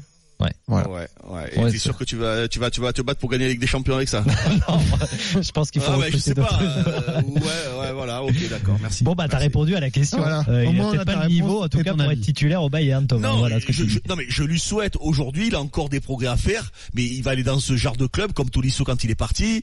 euh, ils vont progresser dans Ouais. ce genre. Après, jusqu'à où ils vont progresser? Quelle est la limite de la progression? J'en sais rien. Mais le le le le, le, le taux 20 euh, d'aujourd'hui euh, de Marseille, de l'équipe de France, me paraît pas suffisamment armé pour être un titulaire incontesté, Hmm. incontestable du côté du Bayern de Munich dans une équipe qui joue le- le- la Ligue des Champions, enfin qui joue le titre en Ligue des Champions. Hmm. Voilà. Mais il y a un delta, il y a un progrès à faire. Il, il, il sera a- peut-être capable de, le- de les faire ce Ouais, progrès. il a déjà 26 ans, hein, Florian Thauvin. Ouais. Une autre info. Autre euh, info, Benoît oui, parce que ça, ça bouge encore entre Nantes et Cardiff, vous le savez, pour le transfert de- d'Emiliano Sala. Il y a un énorme conflit entre les deux clubs. Nantes a décidé de saisir la FIFA puisque Nantes n'a toujours pas reçu le premier versement qui devait être de 6 millions d'euros. Ça devait arriver le 26 janvier. Nantes n'a toujours rien reçu. La FIFA a confirmé avoir été euh, contactée par le club nantais, mais se laisse pour l'instant le temps d'étudier l'affaire et ne fera aucun commentaire. Réaction de Cardiff il y a quelques minutes. Réaction officielle, le club gallois qui maintient sa position et qui ne compte pas du tout enclencher un, un règlement dans l'immédiat, qui attend justement les conclusions de la FIFA. Malheureusement, ça fera une, une affaire qui va durer donc entre Nantes et euh, Cardiff pour le transfert d'Emiliano Sala. Bon, c'est difficile de commenter évidemment euh, ça. On Oh, attendra d'en savoir. c'est dommage qu'on ouais, qu'on en arrive Mais c'est voilà. Euh, une autre. euh, Autre petite info Fashion Week, eh oui, puisque Mamadou Sakho a fait partie de la Fashion Week via sa femme. Ils ont lancé leur marque de prêt-à-porter. Et il y avait du beau monde à Paris hier soir pour Mamadou Sakho, euh, du gars, Kylian Mbappé, Blaise Matuidi était là notamment, ou encore euh, Caris, le rappeur, qui était présent pour Ouais. Mamadou Sakho, Kenji Girac, aussi. Roche Dizem, voilà, il y avait du beau monde. Du gars, t'as pas été invité d'ailleurs à cette soirée. euh, Ah non, non, non, pas du tout, pas du tout. C'est pas trop ton truc la Fashion Week du gars, j'ai l'impression. Euh, pff, ouais, tiens, j'ai tout le temps en survette. Qu'est-ce que tu parles de la Fashion Week Ah. Non, non, mais non, mais écoute, je lui souhaite bonne chance pour sa, pour sa collection. Je l'aime bien ce garçon, euh, Mamadou Sakho. Donc, Ouais. euh, Bon, son bien de se hein, diversifier. qui- Non, mais c'est bien de se diversifier, de préparer la reconversion, que les, que voilà, que c'est, je trouve ça très bien. C'est une bonne idée. Ok, merci beaucoup Benoît. On accueille Jean-Christophe Drouet du gars pour le RMC Football Aïe. Show et pour l'after aussi. aïe, Hein. aïe. Et le ration de. Salut les gars, salut, Salut. Benoît, salut François. Vous allez bien Oui. Ça va Vous et avez une petite blague rapidement Ah, avant le programme du jour rapide, rapidos, ouais. Rapidos, Avec plaisir. C'est possible. Alors c'est un petit garçon qui va voir son père et qui lui dit euh, Papa, pourquoi mon frère s'appelle Léon? Son père il dit Bah écoute, c'est bien simple. euh, ta maman adore Noël, donc euh, bah Noël, Léon, l'anagramme, voilà, on a trouvé comme ça. Alors le fils il dit Bah d'accord, merci papa. Et son père il dit Bah de rien, Luc. Très très bien, très bien. Le sommaire maintenant Oui. RMC. Football Show assez incroyable ce soir car il y a évidemment euh, la suite des, des quarts de finale de la Coupe de France. En ce moment, euh, Rennes-Orléans avec euh, 1-0 pour les Rennais. Et puis à 21h, Lyon-Camp. Mais ce n'est pas tout pour la soirée foot. Une magnifique soirée de Première Ligue, 28e journée avec tous les gros sur le pont. Et puis en Espagne, le Classico, Real-Barça, demi-finale retour de la Coupe du Roi. Bref, euh, du lourd ce soir avec Ouais. Laure Le Pailleur et Jérôme Roth. Magnifique, Magnifique. programme Et- avec et JC. j'ai- Oui. J'ai, une blague, moi. euh, non, bah, euh, non, pas, pas, pas ce soir. On n'a pas le temps. Peut-être Bah, demain. On verra. Demain. Non, non, je vais y Allez, réfléchir. on fait un elle, est un petit peu, teasing. elle est un peu Elle- salace. elle Elle est un peu salace. ouais, Elle est un elle peu sera- salace. Bah alors, on n'a pas le temps. on n'a pas le temps. On se retrouve demain, du gars. Allez, à demain. Salut à tous. 18h20, Team du gars Salut, sur RMC. Bonne soirée à tous. Ciao, ciao. RMC, 18h20h. Team Dugas. Team Dugas sur RMC, un show qui tient la route. Oh oh, ça c'était du bon jeu de Motrio. Motrio entretient votre auto et votre bonne humeur. RMC. Vous avez été plus de 25 000 à déposer vos propositions de loi pour faire avancer la France. Maintenant, maintenant, c'est à vous de voter sur rmc.fr pour déterminer 30 propositions que Jean-Jacques Bourdin ira remettre à l'Élysée. À l'Élysée. Pouvoir d'achat, fiscalité, réforme des institutions, urgence climatique, services publics. Défendez vos propositions sur rmc.fr. RMC, RMC, c'est là que ça se passe. Les moules sont de retour, cuisinés en recette marinière, mmh, fraîche et délicieuse, avec des petits légumes. Pour vous donner la frite, flunchez-les à volonté. En ce moment, les moules frites sont à volonté tous les soirs et le dimanche à 8,95€. Ça, c'est flunch. Voir conditions sur flunch.fr. Ah bah t'es là, t'es pas sur le chantier. Bah non. Et toi, tu veux pas non plus Euh, non, pas aujourd'hui. Eh ben les gars, qu'est-ce que vous faites chez Toyota? Vous êtes pas sur le chantier Ah, c'est ce que je lui disais. Il est pas sur le chantier. Tous les pros se retrouvent aux journées plus utilitaires Toyota. Découvrez le Toyota Hilux Extra Cabine Légende à 189 euros hors taxe par mois sans condition de reprise. Toyota Business Plus, grandir avec vous. Offre professionnelle dans les réseaux participants jusqu'au 31 mars en LLD. Premier loyer de 5 950 euros hors taxe pour Hilux Extra Cabine Légende 9. Voir toyota.fr. Le guide F1 Auto Hebdo, c'est toute la saison 2019 de Formule 1. Avec le guide F1 Auto Hebdo plongé dans l'intimité des débuts de Charles Leclerc chez Ferrari, de Pierre Gasly chez Red Bull et de Daniel Ricciardo chez Renault. Découvrez aussi l'interview croisée sans filtre de Kimi Raikkonen et Frédéric Vasseur, patron d'Alfa Romeo Racing. Le guide F1 Auto Hebdo, c'est aussi les enjeux, les équipes, les pilotes, les circuits. Un seul choix pour suivre la saison 2019. Le guide F1 Auto Hebdo, la référence en vente actuellement. Chez Poltron et Sofa, nos canapés sont bien plus que des canapés. Nos tissus somptueux sont bien plus que des tissus. Et nos promotions sont bien plus que des promotions. Parce que ce sont des promotions Poltron et Sofa. En ce moment, chez Poltron et Sofa, c'est bien plus que moitié prix. Profitez de 70% de remise sur la nouvelle collection printemps. Et vous pouvez régler en 24 mois sans frais. Trouvez les magasins ouverts ce dimanche sur poltronetsofa.com. Poltron et Sofa, artisan de la qualité. Et voilà avec RMC, le Classico sera chaud. Dimanche à 16h50 au Stade Jean-Bouin, le Stade français Paris reçoit le Stade Toulousain pour un match qui s'annonce bouillant. Rugby et aussi chaud. DJ 7 et troisième mi-temps à ne surtout pas manquer. Place à partir de 8 euros sur stade.fr. Avec RMC, la radio sport du Stade français Paris. Pour organiser votre séjour au ski, n'en faites plus toute une montagne. L'ESF lance monséjourenmontagne.com. Simple, pratique, sans intermédiaire et sans majoration de prix. Réservez directement votre hébergement, vos cours, vos forfaits et votre matériel en quelques clics dans la station de votre choix. Rendez-vous sur monséjourenmontagne.com. Demain à 20h50 sur RMC Découverte. Un décryptage inédit. Comment fonctionne Roissy Charles de Gaulle? Balisage des pistes, détection des bagages. Quelles sont les technologies de pointe utilisées par le premier aéroport du continent européen. Paris-Charles de Gaulle, aéroport du futur. C'est demain, dès 20h50 sur RMC Découverte. Plus fort que la fiction. Canal 24. Lidl, meilleure chaîne de magasins de l'année. Ah, le patron? Je te sens troublé. Ah bah oui, en ce moment, ils font du jus de pomme trouble à 1,79€ la bouteille. Du jus de la vallée du Rhône et inédit chez Lidl. Le jus de pomme trouble à 1,79€ Oui, et du jus origine France. Hein. Lidl s'engage avec les producteurs pour utiliser des fruits qui n'auraient pas pu être utilisés à la vente directe. Fini le gaspillage avec ce jus de fruits. Oh, c'est sûr que ça va faire du bruit. Ah bah on est mal. Hein. Lidl, le vrai prix des bonnes choses. 2,39€ le litre, offre valable jusqu'à épuisement des stocks. Plus d'informations sur Lidl.fr. Pour votre santé, bougez plus. RMC.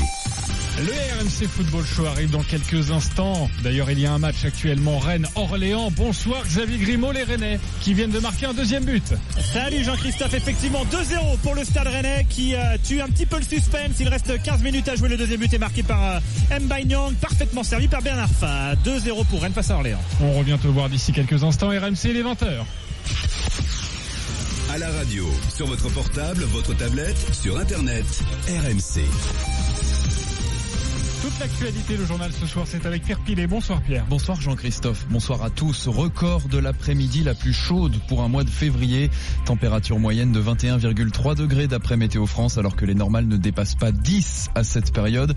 Plus de 28 degrés par endroit dans les Pyrénées-Atlantiques pour la plus grande satisfaction des habitants et des vacanciers à Biarritz. C'est beau et il fait chaud. Je sors de l'eau, fraîche au départ et puis vivifiante et voilà, un petit plouf et on ressort. Ah là, c'est un avant-goût de l'été, hein, clairement. Hein. Il, fait, il, fait, il fait super chaud là, c'est incroyable. Et bah non, c'est sympa, ouais. Bah, on profite et il n'y a personne. C'est cool quoi. Moins réjouissant, le pic de pollution aux particules fines qui attend Lyon et Villeurbanne. Circulation différenciée demain, excepté sur les axes périphériques et autoroutiers des deux villes. Ailleurs, seuls les véhicules avec une vignette critère de niveau 1, 2 ou 3 pourront rouler. À trois mois des élections européennes, la République en marche et le Rassemblement national au coude à coude dans les intentions de vote. Résultat d'un sondage ELAB pour BFM TV. Le parti de la majorité recule, celui de Marine Le Pen progresse. Les deux sont à 22%. Derrière, on trouve les Républicains stables à 13%. Et puis Europe Écologie Les Verts dépasse la France Insoumise. La météo demain, une perturbation arrive par l'Atlantique, alternance de pluie et d'éclaircies dans la moitié nord, soleil dans la moitié sud, hormis sur le massif central où ce sera nuageux. Température au lever du jour, 4 degrés à Strasbourg, 5 à Limoges et Lille, 6 à Romorantin, 7 à Marseille, 9 à Paris, 10 pour Nantes et Bordeaux. La météo avec la Caisse d'épargne. 3000 experts en région au service des professionnels et des entreprises. Caisse d'épargne, vous être utile. Presque 20h03, voici le RMC Football Show avec Jean-Christophe Drouet. Eh, merci beaucoup Pierre, un nouveau point sur l'actualité, ce sera à 22h sur RMC. Nous on arrive dans une poignée de secondes, le RMC Football Show avec Laure Le Pailleur. Nous avons pas mal de choses à vous raconter, les quarts de finale évidemment de la Coupe de France. Eh, suite aujourd'hui, après la qualification hier du Paris Saint-Germain, Rennes eh, se dirige vers les demi-finales à 21h Lyon-Caen et puis on a euh, d'autres rencontres magnifiques ce soir, notamment en Angleterre. À tout de suite sur RMC. RMC. Vous avez rendez-vous tous les jours avec Jean-Jacques Bourdin, dès 6h sur RMC. Vous les voyez, les extrémistes, ceux qui veulent en découdre à tout prix Moi, ça me viendrait pas à l'idée de caillater une voiture de police. Pourtant, je suis gilet jaune, pourtant, je vais aux manifs. RMC, tous les jours, 6h, 9h, c'est Bourdin Direct. Bouygues Télécom. Félix de Fécamp est fan de foot. Hélas, Félix n'est pas souvent chez lui. C'est pourquoi il aimerait pouvoir regarder foultitude de matchs sur son smartphone, comme celui de ce soir. Ce serait fabuleux. Mais comment faire pour que cela ne lui coûte pas une fortune? Eh bien, Félix, écoutez l'offre fantastique qui va suivre. Elle est faite pour vous. En ce moment, chez Bouygues Télécom, Bein Sport sur mobile est offert pendant 12 mois avec les forfaits Sensation 50 Go et plus. Rendez-vous vite en boutique Bouygues Télécom. Offre soumise à condition pour toute nouvelle souscription avec engagement 12 ou 24 mois. La course à l'Europe, c'est maintenant à l'Orange Vélodrome. Les matchs OM Saint-Etienne, le dimanche 3 mars à 21h, et OM Nice, le dimanche 10 mars à 21h, sont disponibles à l'avant. Venez soutenir les Olympiens face à deux adversaires historiques et deux concurrents pour les places européennes. Réservation sur www.om.net, billetterie Orange Vélodrome et en point de vente habituel. Allez l'OM Ça, c'est une notification qui me prévient qu'un patient veut prendre rendez-vous. Le truc, c'est que maintenant, grâce à ce local, les patients peuvent prendre rendez-vous ah, directement, hmm, encore, sur mon site. Et, et ça n'arrête pas. Site internet, référencement, publicité en ligne, boostez votre visibilité sur internet à partir de 29 euros par mois. Solocal, vous allez avoir de la visite. Solocal.com 3938, service gratuit plus prix d'appel.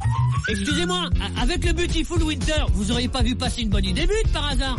Si? Ok. En ce moment, chez But, pour l'achat de trois chaises identiques, la quatrième est offerte. Oui, offerte Conditions et produits concernés en magasin et sur but.fr. Beautiful Winter, le merveilleux hiver de But. RMC, Football Show, Jean-Christophe Drouet. Bonsoir à tous, c'est le RMC Football Show, votre émission avec du foot et du show évidemment spécial quart de finale de la Coupe de France pour m'accompagner ce soir, Laure Le Pailleur. Bonsoir Laure. Bonsoir Jean-Christophe, bonsoir à tous. Alors je vous propose et je te propose une magnifique soirée de, foot. Hein. Euh, bon, j'ai rien organisé hein, personnellement, euh, mais nous allons faire avec les matchs du soir et vous allez voir, c'est pas mal. Avec donc de la Coupe de France, Rennes-Orléans actuellement 2 à 0 pour le Stade Rennais. Il reste euh, un petit peu plus de 10 minutes de jeu et puis à 21h, Lyon-Caen, un match à suivre en direct et en intégralité sur RMC. Nous serons en direct du groupe Ama Stadium dans quelques instants. La 28e journée de Première Ligue également. Arsenal, Chelsea, Tottenham, Manchester United, Manchester City et Liverpool sur le pont ce soir. Et puis en Espagne, le Classico Real Barça, demi-finale retour de la Coupe du Roi. Coup d'envoi à 21h. Bref, je ne vous ai pas menti. Une énorme soirée. Et c'est parti pour le RMC Football Show.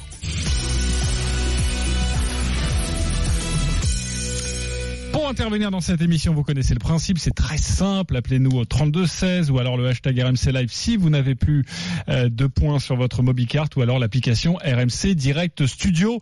Euh, supporters rennais, supporters orléanais, de Lyon ou de Caen. N'hésitez pas donc à composer le 3216 et à venir tailler la bavette avec nous. Avant de nous diriger vers Lyon pour la rencontre du soir Lyon-Caen, Xavier Grimaud, Rennes, Orléans, les Rennais viennent quasiment de tuer le suspense, mais qui sait, c'est un match de coupe. Rebonsoir Xavier. Rebonsoir JC, bonsoir Laure. 2-0, effectivement, le, break a été fait par, par les Rennais, on est entré dans les 10 dernières minutes. Hein. Il reste 9 minutes très exactement, on va vous rappeler le scénario du match avec une première période euh, qui était plutôt équilibrée, même les, Orlé, les Orléanais qui avaient fait euh, une très bonne entame de match, ils ont eu une grosse occasion à la 15e, il a fallu une super arrêt du, du pied euh, de, de, Thomas Koubek, ensuite Rennes a eu des situations, un but annulé logiquement par, par la VAR, un penalty annulé logiquement également également par la VAR et en deuxième, Rennes a, augmenté un petit peu son intensité, son emprise sur le match et a logiquement ouvert le score sur un coup franc très bien tiré de, de même s'il y a peut-être une petite faute de main du gardien orléanais et Nyang qui donc a breaké il y a une dizaine de minutes, parfaitement servi par un Atem Benarfa qui avait qui avait fait un joli raid dans l'axe du terrain et il y avait une fausse piste à droite, il l'a donné parfaitement à gauche à Nyang l'intérieur du pied pour le 2-0. Benarfa dans la surface, le petit crochet derrière le pied d'appui, ça va être sorti par Orléans. Aucune occasion pour Orléans en deuxième période, donc le suspense paraît quand même bien tué dans l'œuf là. J'y sais, à moins, pourquoi pas, tu dis c'est un match de coupe de, que la folie s'empare d'un Roazhon Park Roazhon Park quasiment vide puisqu'il n'y a que 8000 spectateurs. Tout le monde se réserve pour le match dans une semaine face à Arsenal, bien sûr. Hein, D'accord, mais les, mais les coquins rennais euh, ont mis tout le monde du même côté pour la télé, non? Non, oui, oui. Alors effectivement, Parce la on a tribune. l'impression, Ouais, vu du ouais. studio, euh, en regardant notre télé, on a l'impression qu'il y a un peu de monde. Oui, la tribune en face euh, est, bien garnie euh, sur le, le, on va dire le rez-de-chaussée, mais il y a l'étage, tu sais, au-dessus qui a pas été ouvert à la vente, qui est complètement vide. Ouais, ouais. Donc ouais, 8000, ouais, si, si, il y a 8000 parce qu'il y a un virage qui est complètement vide également. hein. donc Ah. euh, voilà, il n'y a pas grand monde, euh, il y a pas grand monde dans ce stade pour un match qui va quand même emmener les Rennais en demi-finale hein, de Coupe de France. Eh oui, mais les de finale d'Europa League, demi-finale de Coupe de France. C'est une saison qui commence à devenir, euh, à devenir sérieuse pour les Bretons. Ouais, très intéressante. Les, les supporters rennais ne savent plus où donner de la tête, forcément, ne savent plus euh, quel match suivre. Et puis, euh, forcément, il était à Bah, ils ont 18h30 choisi, hein. le coup d'envoi. oui, ce sera plutôt Arsenal. Ouais, ce sera très, ce sera très, D'ailleurs, très les places dur. sont chères. Ouais, exactement. Ce sera très très dur. Alors tu as raison de- d'avoir des places. Il y a eu 90 000 euh, demandes sur le site internet du club euh, hier. Euh, Rendez-vous compte hein, pour un stade de, de 29 000, 90 000 demandes. Euh, et euh, il y a les abonnés qui avaient le droit d'avoir leur, leur place en priorité euh, aujourd'hui. Euh, donc il, va, il y en a 10 000 à peu près qui vont partir. Et euh, tu sais comment ça se passe en UEFA. T'as pas mal d'invitations. L'UEFA garde une petite partie, ce qui veut dire qu'il y aura que 6 à 7 000 places pour le grand public, pour le reste des supporters rennais. Donc ça va être euh, ça va être terrible. La billetterie ouvre 10 heures euh, à 10 heures samedi matin et je pense qu'il y a des gens qui vont arriver à l'aube avec euh, la, la thermos de café pour être les premiers à, avoir leur place parce que euh, bah, y aura beaucoup beaucoup beaucoup de déçus, c'est certain. Ouais, ça c'est certain. Et bon bah bon courage pour samedi, hein, supporter rennais, si vous voulez, euh, euh, voilà, soutenir votre équipe pour cette rencontre magnifique, le huitième de finale de la Ligue Europa euh, face à Arsenal, c'est jeudi prochain. Alors revenons sur cette rencontre. Pour l'instant, euh, Rennes se dirige donc vers la victoire et c'est plutôt logique quand même. Oui, c'est plutôt logique sur, l'ensemble de la rencontre. Euh, maintenant, quand même, euh, souligner euh, la prestation euh, d'Orléans. Euh, je trouve qu'ils sont mis à, la hauteur, euh, de ce match de Coupe de France. Ils ont été généreux, plutôt fait un jeu égal en, première période, même s'il y avait pas mal euh, de déchets techniques de leur côté. Maintenant, euh, Rennes euh, euh, est quand même supérieur techniquement, a commencé à, imposer sa supériorité. Et puis, euh, comme souvent, euh, je trouve que ce côté droit rennais fonctionne très très bien avec euh, avec Traoré et, euh, et Sarr. Et souvent, les offensives euh, viennent de, ce côté. Et puis, je soulignerai quand même euh, euh, la prestation de Ben Arfa. Parce que euh, parce que c'est vrai que souvent on, peut penser qu'il en fait trop. Et je trouve que sur les dernières prestations euh, il met un peu plus de fluidité dans son jeu, il fait meilleur choix. Et moi je trouve que quand il met de la simplicité en fait, il est meilleur. On voit sur des redoublements de passes, sur sur le but de sur le but de Nyang, il y a des moments où on peut-être il aurait fini seul et là il va fixer bien l'adversaire et, et il décale Nyang. Voilà, je pense que je pense que c'est bien, c'est bon augure en tout cas pour pour euh, la suite de la saison. Xavier, tu as le même regard, toi qui suis euh, très très régulièrement les Rennais. Bah oui, absolument. euh, il fait un match assez euh, assez collectif euh, à Tem Ben Arfa. Euh, c'est ce qu'on avait euh, loué euh, lors du match retour à Séville, euh, où il s'était mis vraiment au service du collectif et euh, il était très agaçant hein, il y a encore quelques semaines à Tem Ben Arfa parce qu'il lâchait pas sa balle ou très peu et avait du coup euh, peu de mouvement autour de lui. Là, effectivement, on a l'impression qu'il euh, bah, qu'il est il est plus collectif avec ses partenaires. Les relations techniques s'améliorent et je pense que Laura a raison. Ça peut forcément euh, faire que du bien au, au Stade Rennais. Euh, ben Arfa, qu'on rappelle, il était puni hein, le week-end dernier puisqu'il a séché la mise au hein. La sanction était de seulement un match, euh, à savoir le match face à Marseille. Il est revenu immédiatement dans le groupe et euh, est titulaire euh, face à Orléans. Alors qu'Ismaël Assar euh, sort à l'instant, évidemment euh, ovationné par euh, par le Roazhon Park. Ismaël Assar qui bah, qui sera très important hein, lors des matchs euh, face à Arsenal, face à la défense euh, d'Arsenal qui manque peut-être un peu de vitesse. Donc euh, c'est certainement un des un des axes euh, d'attaque préférentiels pour les Rennais euh, jeudi prochain. Bon, les Rennais mènent 2 à 2-0. 0, 86e minute. On revient dans quelques instants. Xavier Grimaud, euh, pour vivre les dernières secondes avec toi de cette rencontre. Le deuxième quart de finale de la Coupe de France Rennes qui va donc très certainement rejoindre le Paris Saint-Germain. Le troisième quart de finale de cette Coupe de France, euh, c'est dans un peu moins de 50 minutes. Entre Lyon et Caen, on retrouve au Groupama Stadium Timothée Mémon au commentaire ce soir. Bonsoir Timothée. Euh, bonsoir Laure, bonsoir JC, bonsoir à tous. Alors peu de supporters au Roisen Park pour euh, applaudir les, les Rennais. Euh, qu'en sera-t-il de nos amis supporters lyonnais au Groupama Stadium Eh bien il est fort probable que cette rencontre ne fasse pas tellement recette non plus. Il faut dire qu'elle est intercalée entre deux matchs de Ligue des Champions contre le FC Barcelone avec une magnifique soirée la, semaine dernière. Il y a eu le Paris Saint-Germain il n'y a pas très longtemps ici à l'Olympique lyonnais au, au Groupama Stadium. Résultat, eh bien forcément d'une euh, cette affiche fait peut-être un peu moins rêver et deuxièmement il faut aussi penser au, portefeuille euh, des, supporters il faut débourser de l'argent pour venir voir Paris pour venir voir euh, le FC Barcelone. Et résultat on fait peut-être des économies aussi sur la réception d'une équipe modeste comme celle de Caen.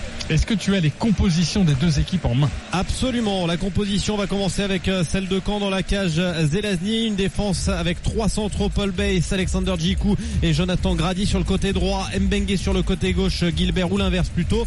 À la récupération Prince Onyangé, Saïf Edin Raoui et Jesse Deminguet. Et puis devant Yacine Bamou et Claudio Bovu du côté de la composition de l'Olympique lyonnais. Anthony Lopez sera dans la cage une défense centrale. Marcelo et Jason Denayer. Sur les côtés Ferland Mendy et Kenny Tété. À la récupération trois hommes. Lucas Touzard Tanguy Ndombele et Pape Diop, on l'attendait pas forcément titulaire, il l'est pour cette rencontre et ce quart de finale de Coupe de France face à Caen. Sur le côté gauche, Memphis Depay, sur le côté droit, Maxwell Cornet. Et à la pointe de l'attaque Moussa Dembélé. On va dire que clairement du côté lyonnais, c'est une équipe que l'on qualifiera de rotation pour ne pas dire une équipe B.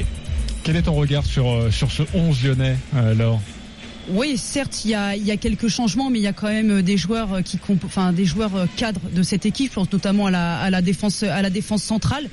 Euh, moi, ce soir, surtout, j'ai aussi, euh, alors c'est bien parce qu'il y a certains joueurs qui ont peu de temps de jeu, que je pense à Diop. Euh, qui, qui à mon sens, moi je me rappelle du match aller à Manchester où il avait été brillant. Il n'a pas beaucoup de temps de jeu. Euh, c'est l'occasion peut-être pour lui euh, de prouver. Là, un moment où il y a certains joueurs au milieu de terrain qui n'ont pas été très bons, à l'image de, de d'Endombele. Ah, qui avait été visé euh, par Jean-Michel Aulas après après la défaite face à Monaco. Voilà. Et puis j'attends j'attends aussi beaucoup d'un joueur parce qu'il m'a énormément déçu sur les sur cette dernière prestation. C'est Memphis Depay. Euh, en l'absence de Fekir, on attendait de lui qu'il soit ce leader technique de cette équipe. Euh, Aujourd'hui, il se passe pas grand chose et il n'est pas du tout, euh, il n'est pas du tout à la hauteur, euh, à la hauteur de, en fait, de ce qu'il dit être comme, enfin, il se dit être un grand joueur. moi, je me rappelle d'un match qu'il a joué avec les Pays-Bas face à la France en amical. Il n'y a pas si longtemps que ça. Et on voit pas depuis le début de saison, je vois pas le joueur de, de ce calibre qu'on avait pu voir ses, ses prestations et ils, Lyon en aurait bien besoin, notamment pour pour les prochains les, les prochaines grosses rencontres. Et sachez que nous allons reparler de Lyon dans une quinzaine de minutes avec ce débat. La Coupe de France était plus importante que la Ligue des Champions. N'hésitez pas à composer le 32-16. Amis, supporters lyonnais, 20h15. Merci beaucoup Timothée Mémon. On revient dans quelques instants te voir pour justement cet avant-match Lyon-Camp. Coup d'envoi à 21h. Rennes-Orléans, les dernières secondes avec toi Xavier Grimaud. Avec le centre venu de la gauche pour les Orléanais. Mes chers, Eda Silva, vigilant. Oh, attention, c'était chaud sur ce coup-là avec euh, qui était l'Orléanais qui était c'était Faïd El Koumisti qui était euh, au point de pénalty euh, tout proche de reprendre et euh, la défense rennaise qui a été vigilante. Il y aura deux minutes de temps additionnel minimum. Il y a un corner à suivre pour Orléans. Est-ce qu'ils peuvent tout relancer? On entre à l'instant dans le temps additionnel. On va falloir se dépêcher. Corner tiré de la gauche, la tête au deuxième poteau, sorti par Clément Grenier avec Damien Da Silva qui va dégager loin devant. Tous les Orléanais étaient montés quasiment. Donc Mbaye Nyang va se retrouver seul. Le duel avec l'Orléanais. Il y aura une touche en faveur de, l'US Orléans. Julien Stéphan qui euh, fait des grands gestes pour que son équipe continue à jouer jusqu'au bout, même si euh, bah, ils sont quasiment qualifiés puisque le ballon est à nouveau récupéré. Il va y avoir un contre à jouer et il reste 1 minute et 15 secondes. JC 2-0 pour le Stade Rennais face à Orléans. Et sachez que demain il y aura le tirage au sort hein, évidemment de, de ces demi-finales de la Coupe de France. Ce sera à 20h55 et vous allez suivre ça sur sur sur RMC. On sera d'ailleurs ensemble hein, dans le dans le RMC Football Show. Les autres quarts de finale, vous l'avez donc compris, il y aura Lyon-Caen ce soir. Nous connaîtrons trois qualifiés et il y aura un dernier match qui va se disputer mercredi prochain, mercredi 6 matchs entre euh, Vitré, club de National 2, le petit poussé désormais de cette compétition de cette Coupe de France, qui recevra le club de Ligue 1 Nantes. Allez les dernières secondes avec toi, Xavier Grimaud, Rennes, Orléans. 2-0 pour le Stade Rennais. Il reste euh, moins d'une minute à jouer. Évidemment, euh, les supporters rennais sont euh, totalement supporters de l'AS Vitré. C'est à 35 km hein, de Rennes, hein, seulement Vitré. Et en plus, Vitré joue contre Nantes. Hein, donc ça peut faire coup double. Si les Vitréens sortent à le FC Nantes, toute l'île-et-Vilaine sera, sera heureuse, évidemment. Et pourquoi pas faire un petit Rennes-Vitré en demi-finale ici au Roazhon Park. ce serait la belle histoire et surtout éviter le Paris Saint-Germain. Ce sera terminé dans 20 secondes. Ce sera même bah, terminé pour, pour le suspense parce que c'est les Rennais qui sont à l'attaque. Ben Arfa, pourquoi pas s'offrir un troisième but avec euh, Mbanyang. Mbanyang, euh, le troisième but, ouais, troisième but signé. Euh, Amari Traoré, non, non, non, non, il y a hors-jeu, il y a hors-jeu. Amari Traoré qui avait fait l'effort sur 90 mètres pour se retrouver au deuxième poteau et il ne marquera pas son but, Amari Traoré, mais ce sera très certainement terminé ensuite sur le dégagement du, du gardien orléanais, même si Monsieur Delerue a mis la main sur l'oreillette sans doute pour voir s'il y a vraiment une position de hors-jeu. Ils sont morts de rire là, Nyang et Amari Traoré. Mbaye Nyang qui a dû le chambrer en disant euh, non non tu marqueras pas mon gars. C'est vrai que ça lui arrive pas souvent à Traoré. Monsieur Delerue qui fait patienter tout le monde. Bon, euh, est-ce que c'est vraiment nécessaire de faire patienter? Il y a 2-0 qu'il y ait 3 et en plus il n'y a pas hors-jeu. Donc euh, le but qui sera peut-être accordé, ça finira peut-être à une addition un petit peu trop lourde, un petit peu ouais, trop lourde pour les Orléanais parce que à 2-0 les Stade Rennais étaient qualifiés. Il y aura peut-être 3 juste avant le, le, coup de sifflet final. Et, gardien d'Orléans qui est euh, qui s'énerve parce que ce but ne sert à rien. Non, il n'y sera pas. Et sur le dégagement, Monsieur Delerue va sans doute siffler. 2-0 toujours pour le Stade Rennais. Il veut pas siffler, Monsieur l'arbitre. Faut y aller maintenant. Voilà, c'est terminé. 2-0 pour le Stade Rennais. Le Stade Rennais qualifié pour les demi-finales de la Coupe de France. Le Stade Rennais qui, on le rappelle maintenant, à 8 jours, 8 jours complets, 8 jours euh, total pour se concentrer sur la réception d'Arsenal en huitième de finale de l'Europa League. 2-0 pour Rennes face à Orléans. Merci beaucoup Xavier Grimaud. Passe une belle soirée. À bientôt sur, euh, sur RMC car oui, les, les Rennais ne joueront pas ce week-end. La rencontre Nîmes-Rennes a été euh, reportée d'ailleurs un petit micmac, hein, parce que c'était samedi soir. Les Rennais voulaient jouer le dimanche pour avoir quatre jours de récupération après le match d'Orléans et quatre jours de récupération avant le match d'Arsenal. Je ne sais pas si je suis clair, euh, mais au final, la préfecture du Gard ne pouvait pas organiser ce match le dimanche pour faire reposer euh, les, les, policiers à la suite des samedis et des manifestations des gilets jaunes pour les faire reposer. Donc la Ligue a tout simplement décidé de reporter match. Donc il n'y aura pas ce week-end de Nîmes-Rennes. Donc les Rennais ont 7 jours pour, enfin 8 jours plutôt, pour euh, préparer ce match. C'est plutôt une bonne nouvelle pour eux quand même. Pour eux, c'est une bonne nouvelle. Maintenant, euh, je peux comprendre que, que les Nîmois soient pas soient pas contents de cette décision parce que parce que voilà, je comprends dans une dynamique pour eux, c'est pas intéressant de, de, rester euh, de rester plusieurs jours euh, plusieurs jours sans match. On a vu Montpellier à qui c'est arrivé pendant trois semaines de pas jouer en décembre et au final, ça a coïncidé avec le coup de moins bien. Ouais, puis surtout, on, on voit dans le dans, dans, le championnat anglais en première ligue, Arsenal va jouer hein. et en plus a des grosses affiches. Bien sûr, exactement. Arsenal qui affronte ce soir Bournemouth. Bon, c'est pas la plus grosse affiche évidemment, euh, mais il y aura un autre match ce week-end. Il y aura Tottenham et puis, euh, et puis ils auront aussi euh, après après Rennes, je crois qu'ils jouent aussi Manchester United. Donc ils ont quand même un calendrier assez chargé. Oui, mais c'est ça le problème de la Première Ligue. Il y a trop de bons clubs et donc il y a trop d'affiches tous les week-ends. D'ailleurs, je vous donne le, programme de ce soir. Hein. Je vous ai parlé de tous les gros qui étaient sur le pont à 20h45. Deux rencontres Southampton, Fulham, Arsenal, Bournemouth et puis à partir de 21h Chelsea, Tottenham, Crystal Palace, Manchester United, Manchester City face à West Ham et Liverpool, Watford. Vous allez suivre tout ça dans le RMC Football Show. Appelez-nous, supporters rennais orléanais, après cette rencontre et la victoire du Stade rennais qualifié donc pour les demi-finales de la Coupe de France. Alexandre est avec nous au 32-16. Bonsoir Alexandre. Bonsoir lycée, bonsoir à tous. Bonsoir Alexandre. demi-finale de Coupe de France. Huitième de finale de la Ligue Europa. Franchement, si avant le début de la saison on t'avait dit ça,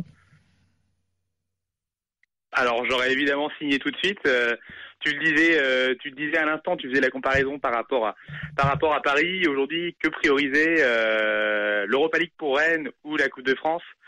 Néanmoins, en tant que supporter rennais, certes, on souhaite se se construire un palmarès avec avec la Coupe de France, mais avec Paris qui est toujours qui est toujours qualifié. On attendra le, le, je dirais le tirage au sort pour clairement se fixer un objectif qui reste pour l'instant, même si ce soir euh, Stéphane a, aligné, équipe type qui reste pour l'instant l'Europa League.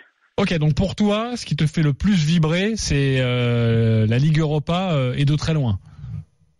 Plus vibré, je sais pas, mais ce qui est sûr, c'est que cette année, en tout cas, en termes d'émotion et aussi, je dirais, de d'ensoleillement national, le Stade Rennais passe par, l'Europa League. Donc, euh, j'attends prudemment le tirage euh, des demi-finales. Et une fois qu'on est fixé, et une fois qu'on est fixé, on pourra fixer ou pas l'objectif sur la Coupe de France. Mais j'ai quand même très peur d'affronter euh, Paris en demi-finale. Je peux te proposer un dilemme, Alexandre? Euh, je t'écoute. J'ai fait ça aussi à Jérôme Thomas, le producteur de l'After, évidemment grand supporter du Stade Rennais. Euh, il m'a répondu, je ne te dévoile pas sa réponse avant, je voulais te poser aussi ce dilemme.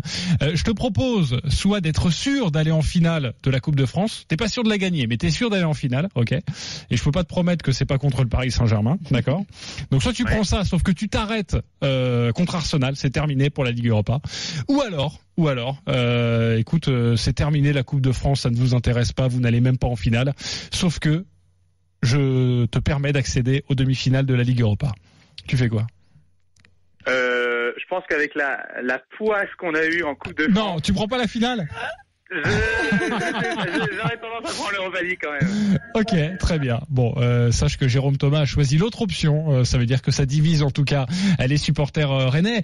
C'est vrai que euh, avec cet épouvantail du Paris Saint-Germain, on a la sensation que les équipes n'y croient pas trop.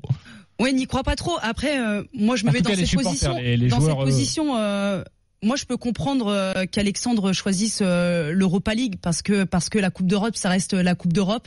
Ça promet des grosses affiches. Quand on voit quand même l'engouement euh, qui a lieu qui a eu lieu euh, autour autour de Rennes, euh, voilà. Quand on, se rappelle un petit peu aussi du parcours de Marseille euh, euh, la, la saison dernière, je peux comprendre qu'on ait quand même un, un attachement euh, un attachement à, à l'Europa League. Maintenant, c'est vrai que sur le territoire français, c'est quand même compliqué euh, d'aller titiller le, le Paris Saint-Germain. Ouais, on imagine et c'est vrai qu'on va attendre le tirage avec impatience, mais tout le monde, tout le monde veut éviter le Paris Saint-Germain euh, pour la demi-finale et s'offrir évidemment une opportunité supplémentaire de rallier la finale. Euh, Merci beaucoup Alexandre. Tu voulais ajouter euh, quelque chose sur sur un joueur ce soir qui t'a particulièrement séduit? Alors sur un joueur, non. Par contre, je voulais passer un message pour encourager à 200% la semaine prochaine nos amis vitréens. C'est à quelques kilomètres de Rennes et on est à fond derrière eux, Eh oui. dans le derby face au face à l'ennemi nantais. Eh oui, Vitré, Nantes, ce sera euh, mercredi prochain. Euh, ce soir-là, il y aura d'ailleurs la rencontre entre le Paris Saint-Germain et Manchester United, mais on en parlera dans le RMC Football Show avec Gilbert Bribois. Merci beaucoup Alexandre et euh, puis bah passe une bonne semaine. Les Rennais au repos. On se retrouve la semaine prochaine pour la rencontre face à Arsenal. À bientôt sur RMC. Merci beaucoup, bonne soirée. Merci. Euh, nous on se retrouve dans quelques instants pour la suite du RMC Football Show. Nous allons évoquer euh, le troisième quart de finale de la Coupe de France du soir, Lyon-Caen en direct du Groupama Stadium. On vous redonnera les compos. Et puis ce débat, euh, la Coupe de France est-elle plus importante que la Ligue des Champions? Nous parlons pour les Lyonnais évidemment. Laure, j'attends ta réponse. Supporter lyonnais aussi au 32-16. À tout de suite sur RMC. RMC Football Show. Écoutez RMC. RMC. Gagnez vos places pour assister au match de Ligue des Champions. Paris Saint-Germain, Manchester United. Toute la semaine, dès que vous entendez. Envoyez foot par SMS au 732-16. Foot au 732-16. Vos places pour le match de Ligue des Champions. PSG, Manchester. C'est sur RMC que ça se passe.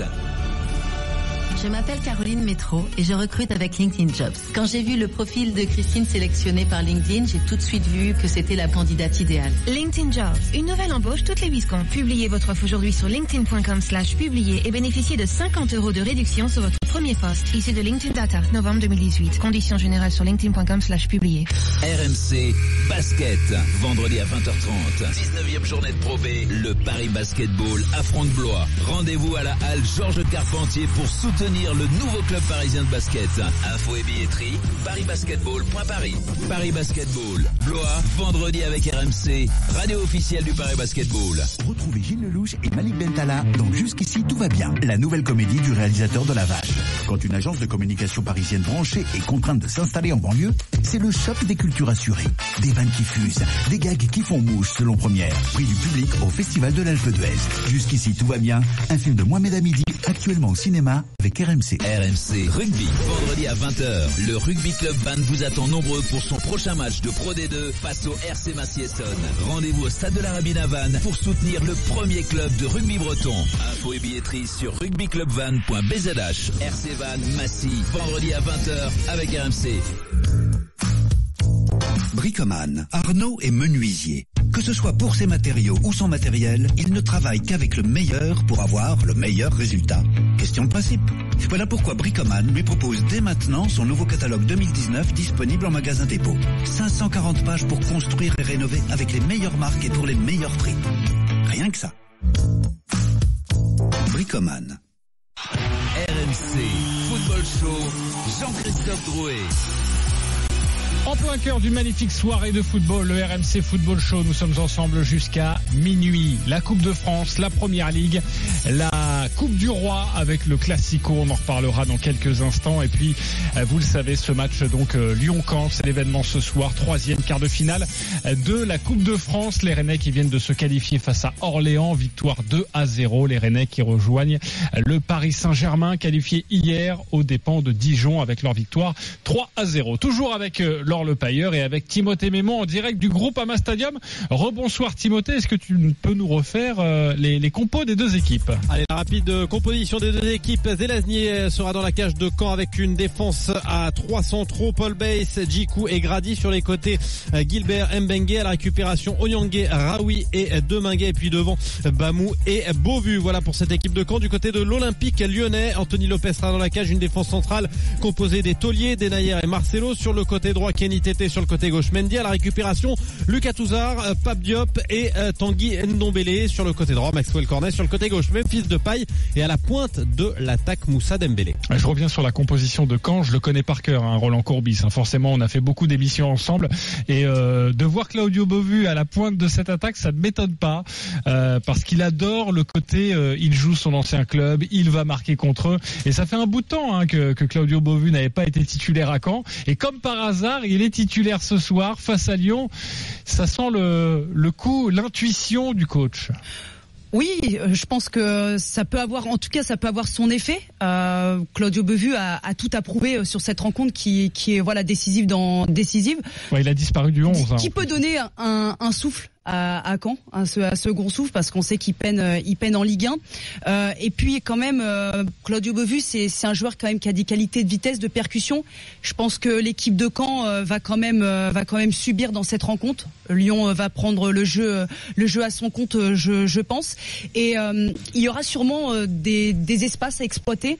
Et je pense que c'est peut-être une bonne idée de, le titulariser euh, sur le front de l'attaque. Alors parlons de l'Olympique lyonnais. C'est un des objectifs prioritaires cette saison. Remporter un trophée. euh, et il n'y a plus que la Coupe de France. hein. Si on met de côté évidemment la Ligue des Champions pour réussir donc cette performance, le dernier trophée des Lyonnais remonte à 7 ans, une éternité pour ce club français. C'était en 2012 et c'était déjà la Coupe de France. Alors la Coupe de France est-elle plus importante que la Ligue des Champions. Comprenez quand est-ce que c'est plus important que le FC Barcelone? Laure, quel est ton avis? Évidemment, supporter lyonnais, appelez-nous au 32-16. Alors si on est pragmatique, je dirais que si Lyon veut obtenir un titre cette saison, je pense que leur meilleure chance, c'est la Coupe de France. Parce que même si Lyon ré- réalise un exploit euh, à Barcelone, il reste encore beaucoup de chemin euh, en, en Champions League et je pense que sur la durée, euh, j'ai du mal à voir cette équipe, euh, cette équipe de Lyon aller au bout. Donc je pense que ce soir c'est un match très important et euh, pour le club s'ils veulent un trophée euh, dans leur vitrine à la fin, à la fin de la saison, je pense qu'il faut miser sur cette Coupe de France. Plutôt miser sur la Coupe de France. Pierre nous appelle au 32-16, supporter de l'Olympique lyonnais. Bonsoir Pierre. C'est bonsoir Laure. Bonsoir. Alors Pierre, même question. euh, Est-ce que tu penses que la Coupe de France est plus importante que la Ligue des Champions? Est-ce que tu es d'accord surtout avec Laure Le Pailleur? Ah moi je suis désolé Laure, mais je suis à l'opposé de ce que de, de, de, l'idée de, de mettre en avant la Coupe de France en priorité. Euh, Pour moi aujourd'hui, ce qui, ce qui doit marquer le football français, et notamment Lyon, c'est la Coupe d'Europe. Et je garderai euh, toujours un meilleur souvenir d'avoir éliminé le Barça que de gagner la Coupe de France contre Rennes ou PSG en finale. Euh, évidemment, là, c'est parce qu'on est obligé de choisir. Hein. Euh, J'aimerais bien aussi gagner la Coupe de France. Évidemment. D'accord. Hein, mais euh, mais ceci dit quoi, aujourd'hui tu vois que le- la, la dernière Coupe de France qu'on a gagnée, je n'ai aucun souvenir. Par contre, la victoire contre la Roma il y a deux ans, contre Besiktas, je me rappelle, l'élimination du Real, du, du, du Barça et, il y a quelques années, enfin la victoire du moins contre le Barça, je m'en souviens. Et, euh, et moi, je signerais des deux mains pour un, une demi-finale de Ligue des Champions plutôt qu'une victoire en Coupe de France. Quoi. Ok, tu problème. reprends le pari euh, et le défi que Ah j'ai ouais, lancé à notre ami René tout à l'heure, euh, qui nous avait également appelé au, au 32-16. Euh, ça veut donc dire que pour toi, ce match, évidemment, reste important, mais si les Lyonnais devaient se faire éliminer, ce serait pas une cata? Bah, ça serait une catastrophe parce que ça serait une contre-performance et je pense que Laure elle a parfaitement résumé le match de ce soir. C'est qu'aujourd'hui, moi, je veux que Memphis, il se réveille, qu'il commence enfin à marquer des buts. Je veux que Diop, Cornet, Tété, qu'on peu de temps de jeu, ben, nous montrent que, l'entraîneur se trompe. Et surtout, ben, j'ai envie de juger encore une fois si, les joueurs sont investis ou pas dans ce club. Parce que si ce soir ils sont éliminés, qu'il y ait beau vu ou pas, euh, c'est une faute professionnelle et ça montre, ça montre qu'ils choisissent leur match encore une fois. Mais moi, je m'attends rien du tout. Ce soir, je sais qu'on va faire un match encore minable, comme d'habitude. Et euh, soit on se qualifie parce qu'on va ouvrir le score, euh, et puis évidemment, quand ils sont en difficulté, ils, ils ont peut-être d'autres choses à penser que la Coupe de France de leur côté. Et inversement, je pense que si quand on ouvre le score, ben, on verra si les Lyonnais ils ont envie ce soir. Donc j'espère vraiment me tromper et, et, et qu'ils me fassent taire et, et qu'ils montrent que, ben, que Monaco c'était un accident. Mais, euh, mais moi, je suis convaincu que que tant qu'on n'a pas un, un entraîneur et puis des joueurs plus investis que ça dans le club, alors quand je dis investi, euh, pour Genesio, je dis pas qu'il est investi, mais il n'a pas le charisme pour euh, pour euh, pour gérer des joueurs comme Memphis, euh, Nabil ou ou, même Traoré. Donc euh, voilà, moi c'est ce que j'attends ce soir, c'est que les remplaçants montrent que Genesio se trompe et Genesio, bah, encore une fois, me, me montre que je me trompe dans mon analyse. Bah, reste avec nous parce que justement on va écouter euh, Bruno Genesio en conférence de presse juste avant cette rencontre. C'est vrai qu'il a tenu à, à recadrer ses joueurs, à se recadrer lui-même. Euh, Timothée, c'est vrai que pour Jean-Michel Aulas, cette coupe est très très importante. En tout cas, dans la communication de Jean-Michel Aulas, elle est extrêmement importante. En effet, on nous fait croire, on nous annonce en tout cas que l'avenir de Bruno euh, Genesio est euh, soumis à ses résultats. Bruno Genesio, il est troisième du classement, il est encore en vie en huitième de finale de la Ligue des Champions, il est en quart de finale de la Coupe de France. Il n'y a qu'une ombre à son tableau. Finalement, c'est euh, cette euh, élimination en Coupe de la Ligue face à Strasbourg. Alors à part Laurent Fournier, je connais pas d'entraîneur en, en Ligue 1 qui serait euh, sur le point de se faire virer avec ces résultats-là.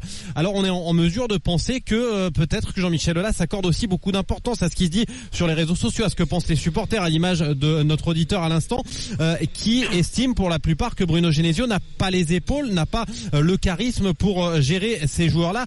Quand on connaît un petit peu euh, Jean-Michel Aulas, quand on a suivi le football de ces 20 dernières années, on a du mal à imaginer qu'il puisse se faire son avis en fonction de ce que peuvent penser les supporters. Résultat, il a mis une énorme pression sur cette rencontre de Caen, mais on a la sensation que c'est surtout de la com pour tirer des ficelles, pour sortir le groupe lyonnais euh, de son confort, pour essayer d'éviter cet écueil qui est celui de Lyon depuis deux ans maintenant, à savoir faire des gros matchs contre les gros et faire des mauvais matchs contre les équipes de moindre calibre.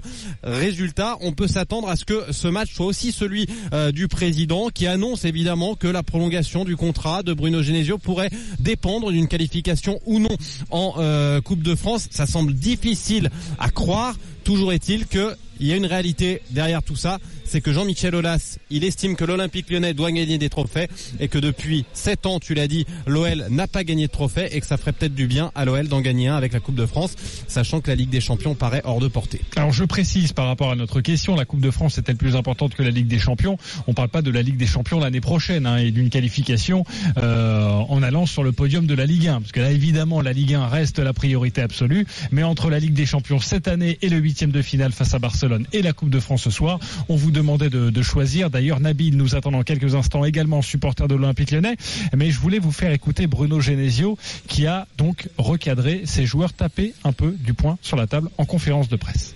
Comment les mobiliser? Bah, C'est un quart de finale de Coupe de France. Qui dit quart de finale dit possibilité d'aller en demi-finale et possibilité de continuer à espérer gagner un trophée. Donc euh, si on trouve pas la motivation pour ce genre de match, faut faire autre chose. Euh, Je pense qu'il faut qu'on arrête euh, de parler, de faire des interviews, de communiquer sur l'avenir individuel des uns et des autres. Que ce soit les joueurs, que ce soit moi, que ce soit mon staff, que ce soit qui que ce soit. On sait que ce sont des événements qui peuvent parasiter la performance à un moment donné. Nous, regardez notre effectif, regardez euh, le nombre de matchs de Champions League de notre effectif. Et on peut comprendre que parfois, ça peut les perturber, ça peut les influencer d'une manière ou d'une autre. Donc ce que je souhaite, c'est ça, c'est qu'on se concentre sur l'objectif collectif. Alors tout allait bien il y a encore euh, quelques temps, juste même avant le match face à Barcelone, et puis il a suffi d'une défaite face à Monaco pour euh, pour crisper un peu le club. On sent que l'ambiance est un peu plus tendue. Tout tout allait bien, mais euh, voilà, il y avait il y avait des victoires qui, qui s'enchaînaient, mais dans le contenu, c'est toujours euh, voilà sur courant alternatif. Ouais, notamment euh, la victoire face à Guingamp À de 1 avant, avant d'affronter Barcelone. Et d'ailleurs, ils ont eu un peu de chance parce que heureusement que Nolan Roux euh, rate sa tête euh, en fin en fin de match. Mais euh, je trouve que sur l'ensemble de la de la saison, sur la régularité, euh, c'est ils sont pas là quoi. Ils sont pas là et je peux comprendre euh, je peux comprendre c'était Pierre euh, l'auditeur son, ouais. mécontentement par rapport à l'implication des joueurs. Moi, euh, Genesio, c'est bien qu'il soit euh, impliqué dans dans ce discours. Euh, Aujourd'hui, je pense que lui aussi, ça le perturbe et que ça doit aussi influencer sur euh, sur l'ensemble du groupe. Moi, j'ai tendance à penser que qu'ici, il avait dû reprolonger tout de suite, il aurait dû le